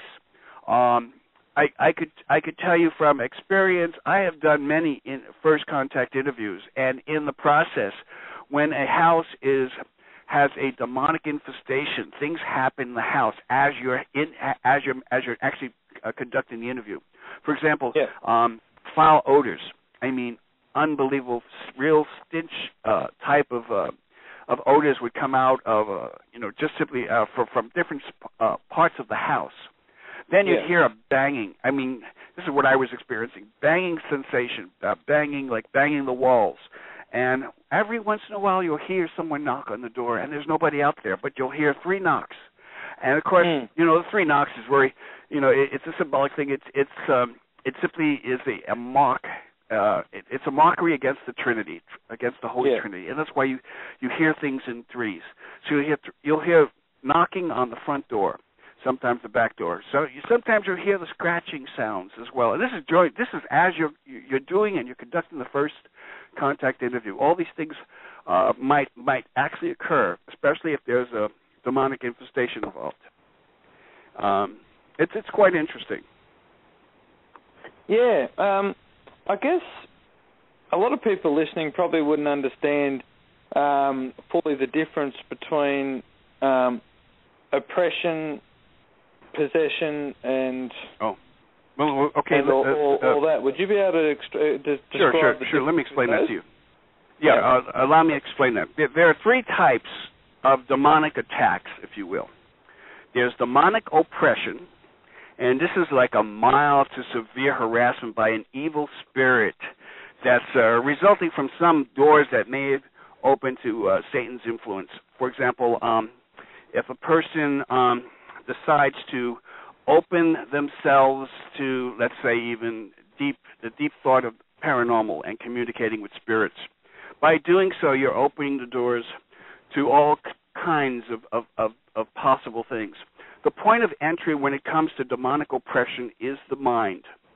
And Okay. so as this occurs, this is the first step to possibly possession. See, if a person could be could have a demonic oppression for years, and what this is, these are demons that will wear you down mentally, and and as you succumb to their to their temptations and to their oppressions, um, it, it will bring you to a point where you're just about ready just to give up. And at that point, some people actually commit suicide, if not Yeah. possessed by a, a, a demon. Of course, the next type of or next form of attack is is demonic uh, possession. Now, demonic demonic possession is a complete takeover of the mind and body, and uh, it could it, it's actually a condition that could actually be done by one or more spirits. There could be a multiple demonic uh, spirits that are involved in the actual Yeah. takeover of a human being. And when this happens, the personality of the demon will actually be manifested through that person, through that person's body. Okay. Yeah. And then, of course, the last one is demonic infestation. Now, demonic infestation is uh, is where the demon has roam of a of a space, house, Okay. location. Uh, generally speaking, um, the outs let's say the outer manifestations would be cold spots, strange odors, knocking on doors and walls, objects moving, uh, things of this nature. And Hmm. so that would be, um, you know, I, I suppose you could call it a haunting because that's exactly what it is. It's a demonic infestation is uh, a form of a haunting that's done by the uh, by, by demonic forces. And so those Yeah. are the three uh, attacks that uh, that we're all subject to.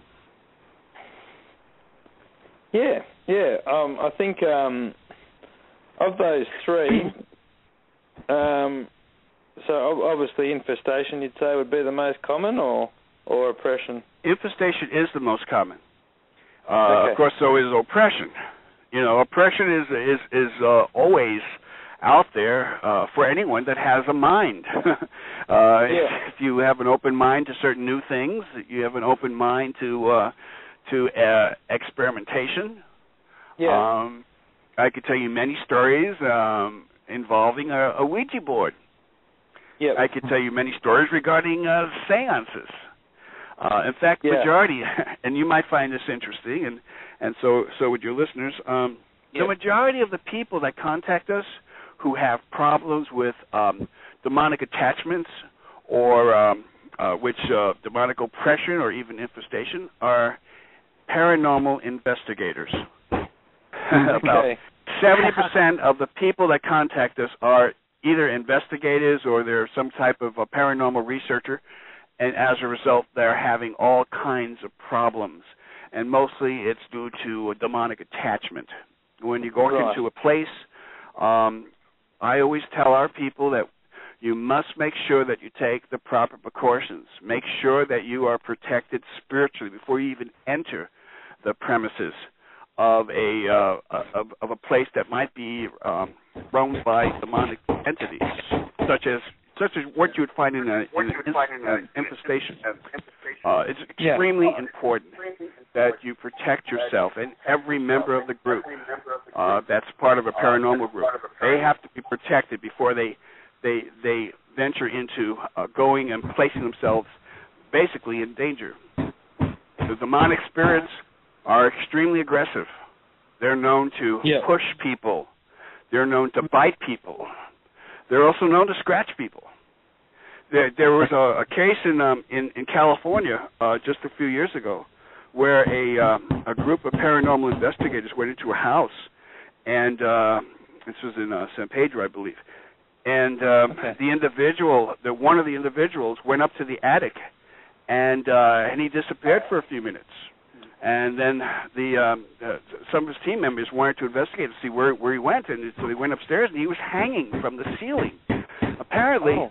uh, some type of demonic entity was able to place a wire around his neck and suspend him from a uh, ceiling that was at least 15 feet high. And, he, and there was no way in the world he would be able to, to do that himself or anyone else for that matter. There was no trace. Uh, in fact, this is a true case. Uh, it's uh, you could probably look it up. Uh, you know, maybe on YouTube, YouTube or, or some documentaries. But the, but anyway, these type Yeah. of things do occur, and they're Yeah. very aggressive. That's that's pretty scary, really. That just he can be walking around investigating. Next thing you know, gets attacked by something and killed. Very much so scary. Very scary. Our teams, when our teams um, are assigned a case, uh, and and these are cases that uh, that we get, uh, you know, and they they come in almost every day. When they come in, they Yeah. come in from various parts of the world, if you will. If I have a team in that city, I will assign that team, and I tell each team member that they have to be strong in their faith. And if Yeah. one person is weak, and one person is on the fence, and what's going to happen is that's going to be the weak link of the whole for the whole team, and it, and the consequences could be very devastating. Yeah, exactly, exactly. I, Take it I've heard from- a lot of talk lately online, actually, which uh, frustrates the hell out of me, actually. But people are saying, "Oh, there's too much talk about demons. We need to stop talking about demons and all that kind of stuff." Well, stuff." this And is this is what I do I mean, uh, as a as, and I, I don't think there's enough. the that's what exorcisms is about. Exorcism is dealing and and it's a it's a warfare with a demon. It's not uh, a human spirit. This is a demonic entity, and and this is what I do. This is what uh, Yeah. what the ministry of exorcism is about. Of course, there's going to be demons. Of course, we're going to be talking about. Oh demons. yeah, yeah, yeah. Oh no, I'm.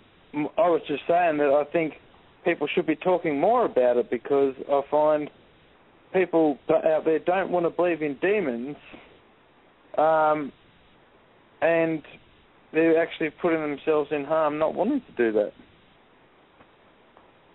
There, there have been many of cases where individuals, and I'm referring to paranormal investigators who are not prepared and who have not a, a clear uh, uh, stand in, in regards to this war that we're in, because we're in a war, by, Yeah. by the way. This is a spiritual war that we are in. This, the, um, the world is a battleground, and Yes. this war is, uh, it's, it's, it's being fought even as I speak.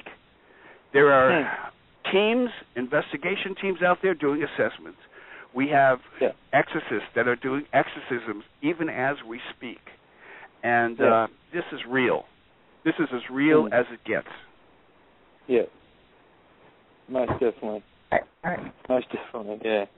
Um, what I wanted to ask was, I think we've, we've talked a little bit about on this on this already. Um, do you think when it comes to people having these oppression situations or even um, infestations or like worst case scenario possessions, do you think that people do anything to cause this, or is it just luck of the draw, wrong place, wrong time? Okay, you know, believe it or not, I, I uh, you were weaving in and out there. Uh, I apologize. Oh, really? I think. Uh, yeah, can you can you repeat your question again? I'm sorry about that. Yeah, yeah, sure. No, that's fine. Um, in in relation to infestation, oppression, and possession, people that are suffering from this, do they necessarily do anything to cause bring it on themselves, or is it Yes. just luck of the draw? No, no, no, no. It's, it's, there's no lack of the drawer involved here. In in order for Yes. the demonic to have roam within your immediate space, you have to invite it in. Now, whether it's intentionally or unintentionally, um, if you make any type of um, of gesture, and and welcome a spirit in. And you know, the, the, the perfect scenario, of course, would be Ouija boards. You know, the first thing Yeah. that a person does is uh, he wants to he wants the entity to identify themselves. He wants Yeah. the entity um, to continue a dialogue, and as a result, you're opening a door that's just beyond the control of anyone. Once you open that Yeah. door, anything could come through. It's not necessarily meaning that a, a, human spirit is going to come through and communicate with you. Most of the time, it's Yeah. a demonic entity, and they come in and they will be dressed in sheep's clothing. They are wolves Yeah. in sheep's clothing. They will come in. They will convince you that they are an angel of light. They will convince you Yeah. that they are, uh, you know, they're there for your benefit and for your well-being. But to the contrary, it's all part of their strategy. They want to make sure that you invite them in. They're going to be make they, they'll make sure that they're available so they can hear you invite them in. And once you you invite them in, then you're subject to not only demonic oppression, but even possibly demonic possession. Yeah. And infestation is also another another thing in regards to opening those doors and inviting the entity in. And and you know this could be totally unintentional. You know you're playing a game. You're sitting around with friends. You're playing with a Ouija board. It's a game, but you have no idea what you're inviting into your immediate space. And once that happens, anything could happen. That's exactly right. That's exactly right. I guess um, the one thing I thought I'd, I'd, I'd run by you um, tonight and see if this is your experience and everybody else's experience too. Every demonic case I have done initially has showed themselves as either a child or an old man or in some manner like that, and it seems to be to lull the people into a false sense of, secu- uh, of security, Yeah, and then eventually it gets more and more malevolent that's as very the true. case goes on. understand this too. The the demonic entity has no body, has no physical body. That demonic entity could get into an animal, can possess an animal. Uh. That demonic entity can uh, attach itself to physical things. That demonic entity can actually infiltrate you as a human being and first become come on strong as a demonic oppression scenario where you're constantly being wore down mentally. And up Yeah. to the point where you are just to a point where you're just ready to give up uh and then you know you you become isolated you know uh friends and families are you know they're they're not welcome to be around you anymore. You make it verbally clear. You you become angry. You become violent. You become um totally uh even a deep state of depression could occur. uh there are Yeah. many things that will occur when a person is at this state. Uh and again the whole thing is it could have been avoided but you know it part of the human experience is we have to explore. I mean this is what what we do. You know as human beings we need to explore everything. And uh, it's just part of human nature. So to answer Yeah. your question earlier okay is it the luck of the draw? No it's not. But if you put yourself in harm's way then expect to be bit because it's going to happen Yeah. Yeah, that's exactly. yeah, very, that's a that's a that's a very good- very good statement there in relation to use of divination tools. I always say to people, you know, like you may get away with it a hundred times. All it needs is that one occasion, and your life will never be the same ever again. That's very true. That's Right. very true. And uh, and you're lucky if you do get away with it that many times. As I said, the uh, demonic entity is they're just waiting for someone to open the door uh, by way of their mind, if you will, and by doing this, um, you know, we, you know, as I said, the war has has already begun a long time ago, and uh, the battle is here. And I, I'm sorry, you know, to keep um, bringing this up, but but we are. This is a serious situation, and people are dying. Yeah. People are Yeah. being driven to commit suicide as a result of demonic oppression.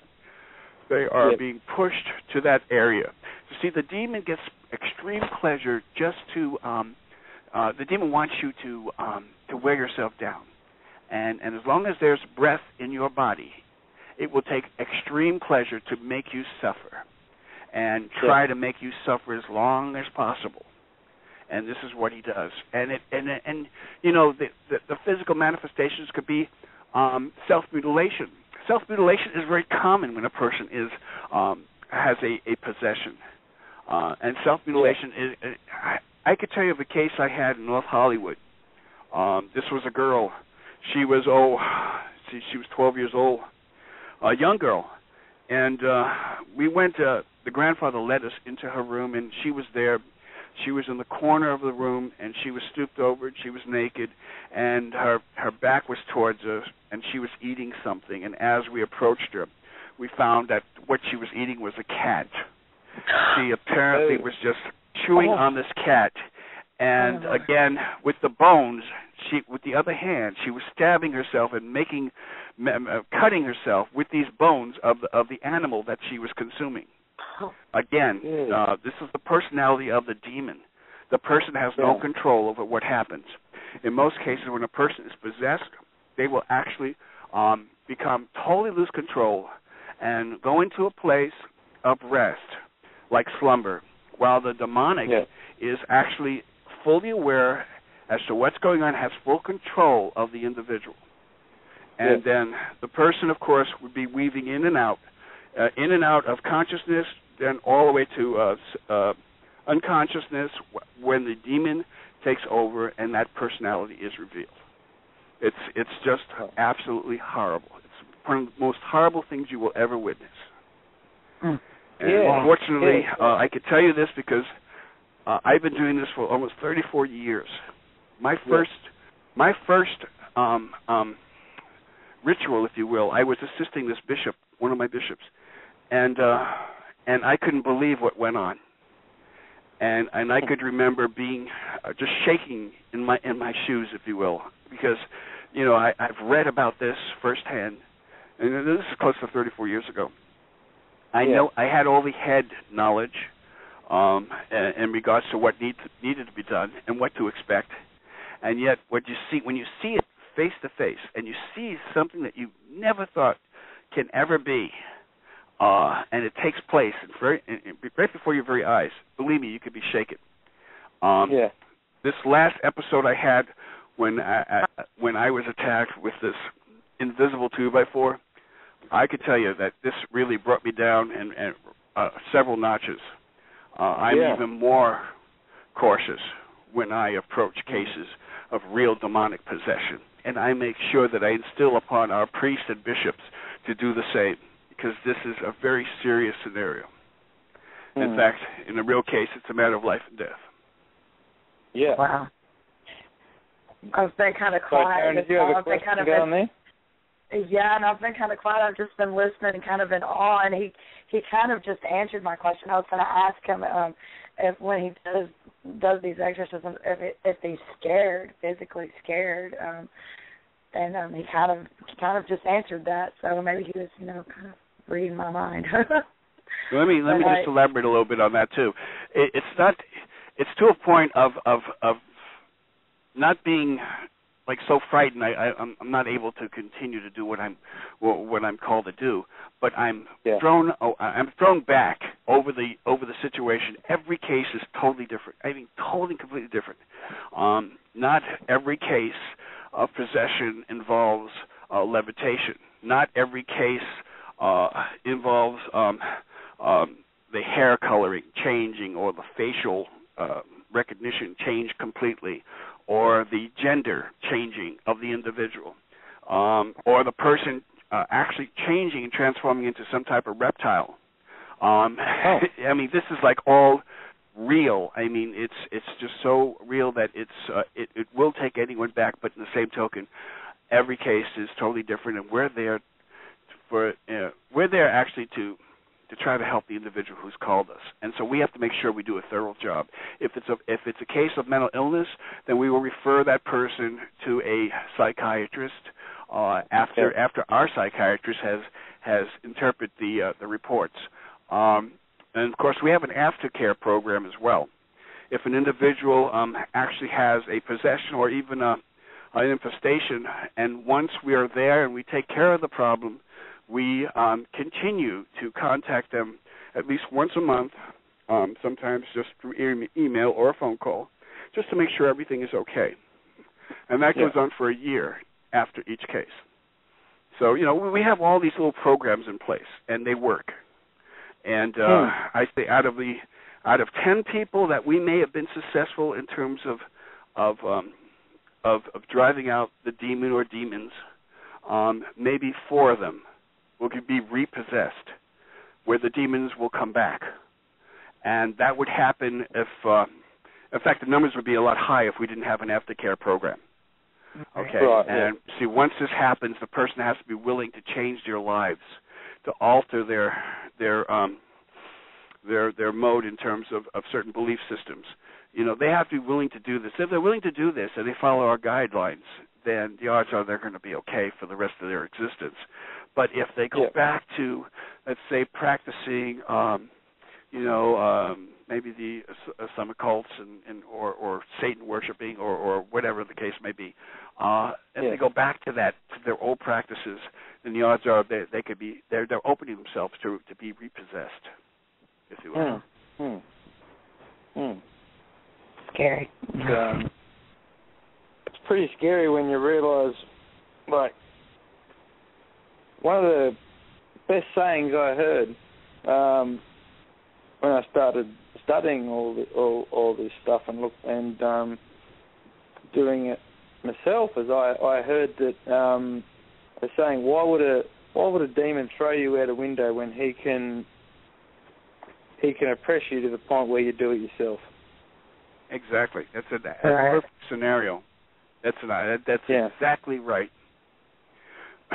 That's exactly right.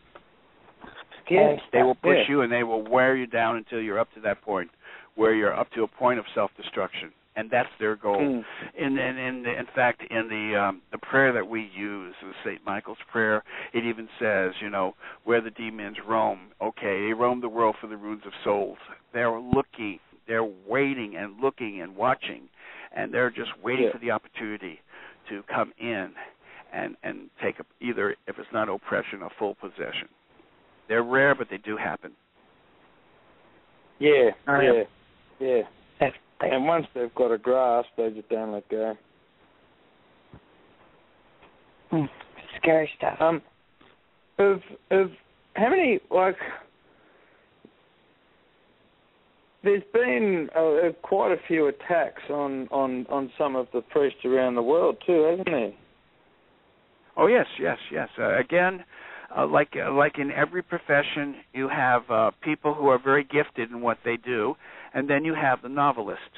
Um, there are some clergy that may have read a few books and may have uh, taken uh, the the two month course in the, at the Vatican, and uh, and then at that point they may go out and be still unprepared.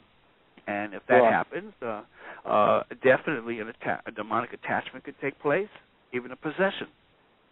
yeah, So yeah, that does happen. because Yeah, I guess, um, oh, one of the questions I had. Is, sorry, Taryn, to interrupt. Um, oh, that's okay. the um,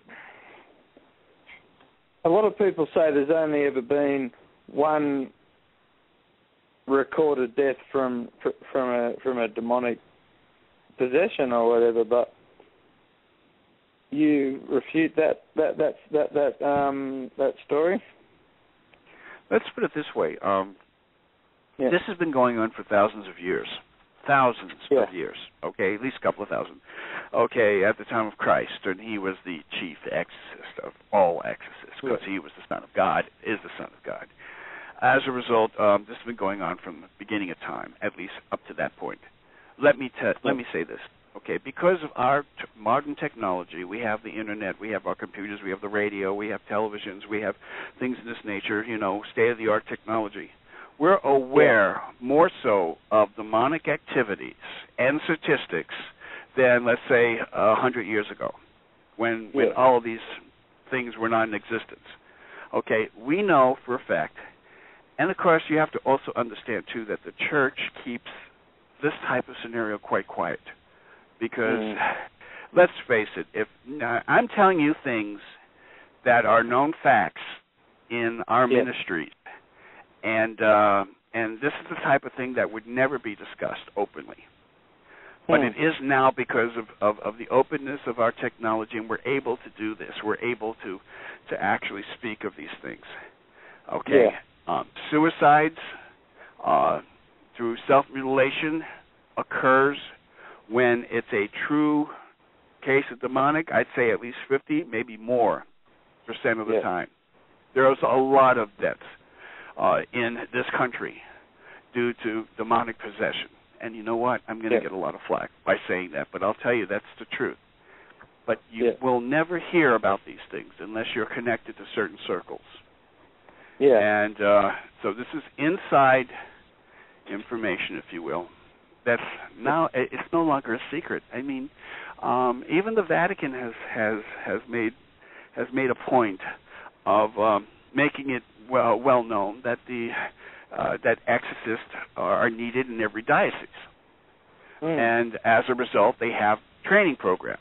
Uh, the the the, uh, the U.S. Uh, Roman Catholic bishops sponsor a program in Maryland, um, and and it's a you know it's it's a it, it's a few weeks I believe, and as a result, it's uh, you know it, it's more and more open right now.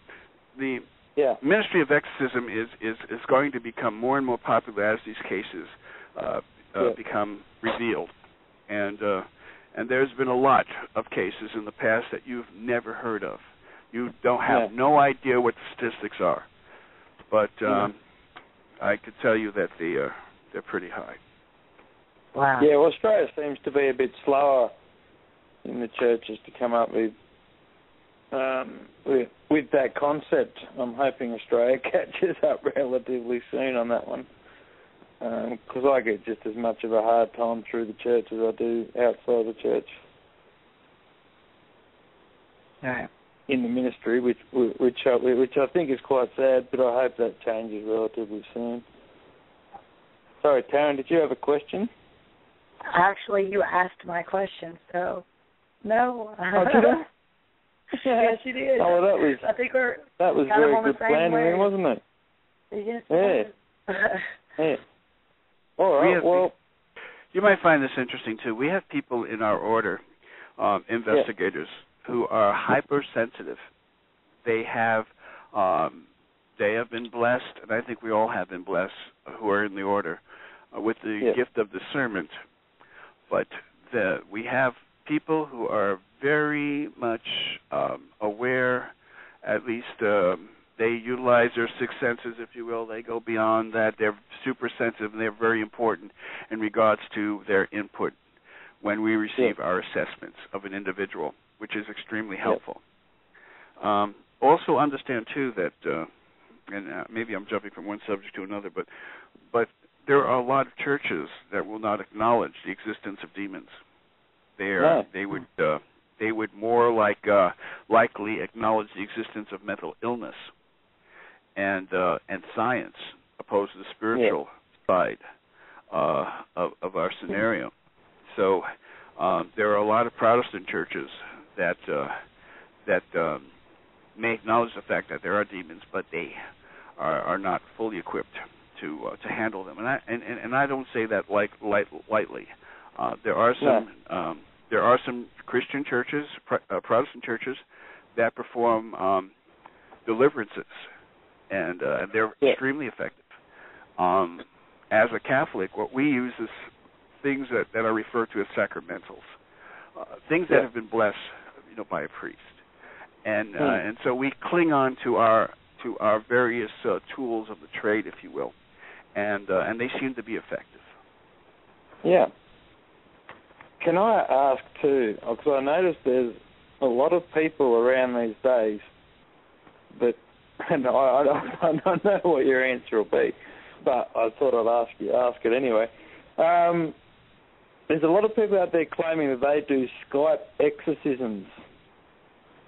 Okay. What's your Uh, I, What's I'm your sorry to say you're going to have to repeat the question because I, I could barely hear you. Try, try that oh, again. Okay. there's a lot of people out there that claim to do Skype exorcisms. What's your point of view on that? A lot of people they go out and they do exorcisms. You say? Skype. Was that your question? Exorcisms over Skype. Okay, I, I I still couldn't fully hear you, but I'm I'm going to assume that you, that that's what you're asking. So let me uh, respond by saying that there are a lot of people out there that will say they are uh, capable and gifted to do an exorcism. And when you hear that approach, I would uh, look twice and I would examine who they are. Um, you cannot do an exorcism um, like um, certain. Um, uh, I don't really want to mention any names, but um, there's one very famous uh, exorcist. He's a Protestant exorcist, and he says he could do an exorcism by way of Skype over the computer. Um, Yeah, see, what I was we feel that that's not possible because what we Yeah. do is we anoint the individual with oil, we sprinkle the individual with holy water, we pray over the individual by touching the individual. We can't do that over the computer. Um, and again, you know, uh, there's a lot of um, uh, people that will tell you that they are that they're qualified to do this this thing. And and I'll tell you right now, there are clergy that are not qualified to do this. There's quite a few clergy that may be out there that may not be qualified to do this because in order to do this, you have to have what I refer to as the calling. You have to be called by God to do Right. this type of ministry. If you're not called by God, then you don't have God's blessing. And as a result, your level of commitment may not be there, and it can be very dangerous to the clergyman or the la- or the laity, for that matter. Um, you have to have a calling. This is a, a chosen profession. This is like a sp- you know we're like specialists, if you will. You know, um, you know if if you go to Yeah. a physician and you have a you, you have a problem with your you have a skin disease, you go see a dermatologist. You know, um, you, you you have a dental problem, you see a dentist. You know, um, you have a problem with uh, the demonics. You want to go see an exorcist who is uh, who has gone through some training, who has been Yep. uh, who's had on the job training and who's been doing this for some time because you need a uh, a seasonal um, veteran to do this type of of, of ministry. And we have a lot of clergy in our order that are learning, and and as and as they learn, they're training their priest, especially our bishops. They're training their priest as to Yeah. you know how to do, uh, what to look for, and how to actually follow a um, follow a, a, a certain protocol. Just because a person says that they're possessed by a demon, that does not mean that they are. I'll tell you why. No. The demon would not want you to know. The demon Right. wants to hide in that individual. He would not. He would not make make make their presence known. Uh, Yeah. What would happen is normally it's a family member who contacts us and tells us that their child, their husband, their daughter uh, is is experiencing certain symptoms of possession. Now that's Yeah. the way it would normally work. If a person is possessed by a demon, he's not going to tell you, "I'm possessed by a demon. I need your help." It doesn't work that way. The demon would not reveal himself in that fashion. The demon wants to stay there. Well, why would he reveal himself? Right. Yeah, true, true, true. But there are signs and symptoms um, when it's in the oppression stage. Yes, yes. Well, when you're when you're going through oppression, the process is a complete mental wear down, uh, and so so it comes from mild to severe uh, forms of, of, of Satan's influence, and that person can um, become mildly maybe start pulling uh, his or her hair, hair out a strand at a time at the mild state, okay, of oppression Yeah. maybe that Yeah. person will start, you know, um, start uh, maybe uh, scratching their uh, their arm, and uh, you know, and then just a light scratch, and then scratch it, and then continue to scratch it until there's a scab, and then scratch the scab off, and continue to uh, to do that, uh, and then at this point they're pulling their hair out by by by the roots, by, by the handfuls, if you will. Okay, um, then the self mutilation will escalate. Maybe they'll take sharp objects and they'll start uh, piercing them themselves, uh, Yeah. lacerating themselves, and it gets it gets extremely uh, worse as time goes on. The oppression becomes more severe, and more severe, up to a point where the person, if the person is not driven to suicide, the person may become totally possessed by the demonic entity, and the demonic entity's personality will surface, and then it'll start manifesting. Then, Yeah. hopefully, they would have a family member who could contact us, and uh, we would be able to uh, to minister to that person. Wow. Yeah, yeah, yeah. I actually had a had a case um, recently where it actually, it actually cleared itself up. Well, I actually think it's going to come back, but actually, in, in in this case, the kids are actually drawing crosses all around the room. And when I when I asked them why are you drawing why are you drawing crosses all over the wall, the kids said because we need them. And hmm. I have to say that that, that reaction actually scared, scared me a little bit when I heard that because I started thinking for kids to be saying this, what's in this house? All right. That is scary. Children, children are very open, and they could see things that we cannot. They could Yeah. sense things that we are that we used to at when we were their age. But as we Yeah. grow and go through the progression of life, the one of our senses are are are, are numbed, if you will. Children, uh, you know, from a very early age up to like maybe 11 or 12, they could see things, feel things, and experience things that we cannot see or experience. Unless you're hypersensitive, and that's another uh, scenario. All right. Yeah, yeah, very true. All right, Ar- Archbishop, I want to thank you so much for coming on tonight. Um, Oh, you're would you like to just let everybody know um, where they can get a hold of you? Yes, they have to have a laptop computer with a flash drive in order to see our website.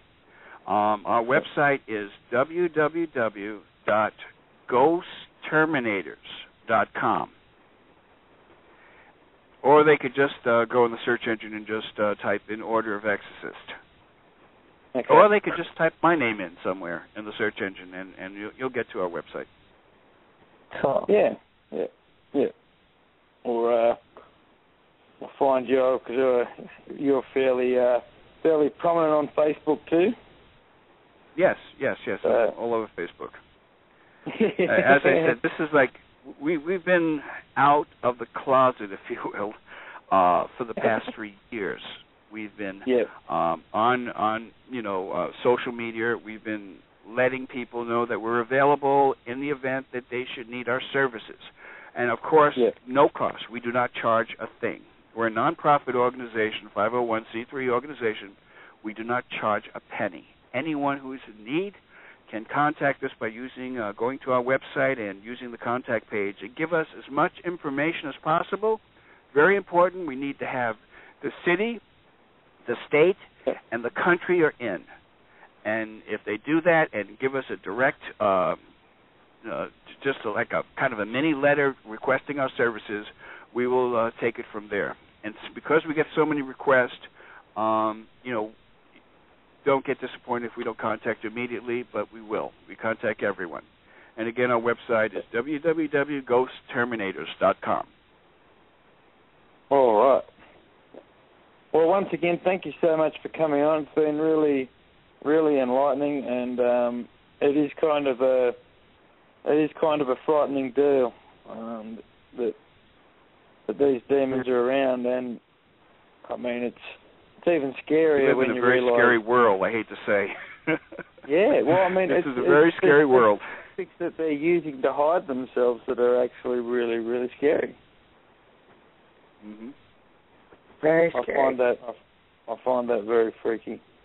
But um and yeah, I'm saying but um I'm, I think I'm right in saying that there's actually a rise in demonic activity around the world as we speak, and um I guess that's even scarier in itself. Yes.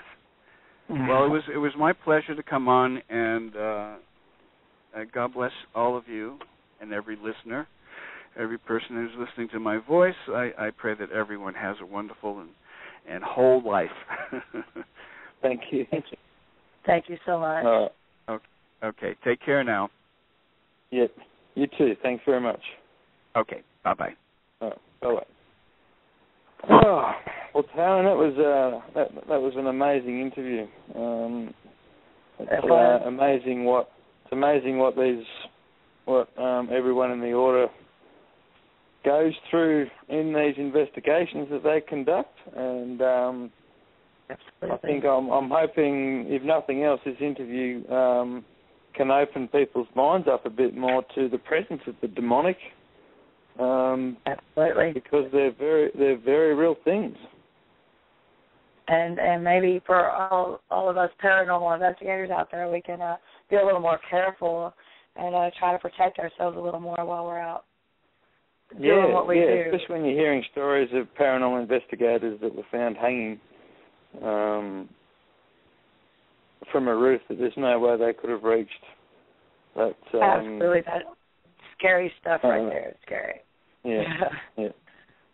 All right, well, that, that's it for another week, and I hope everybody can uh, tune in next week. We've got um, Brett Oldham and um, Andy Colvin coming on. They're both um, they're both authors, um, and should be another amazing show next week. So I hope everyone can tune in. Taryn, I'm so glad everything worked out with the phones tonight. You um, Me too. Me too. have a full show out of the way. We're uh, we're we're, we're on a roll.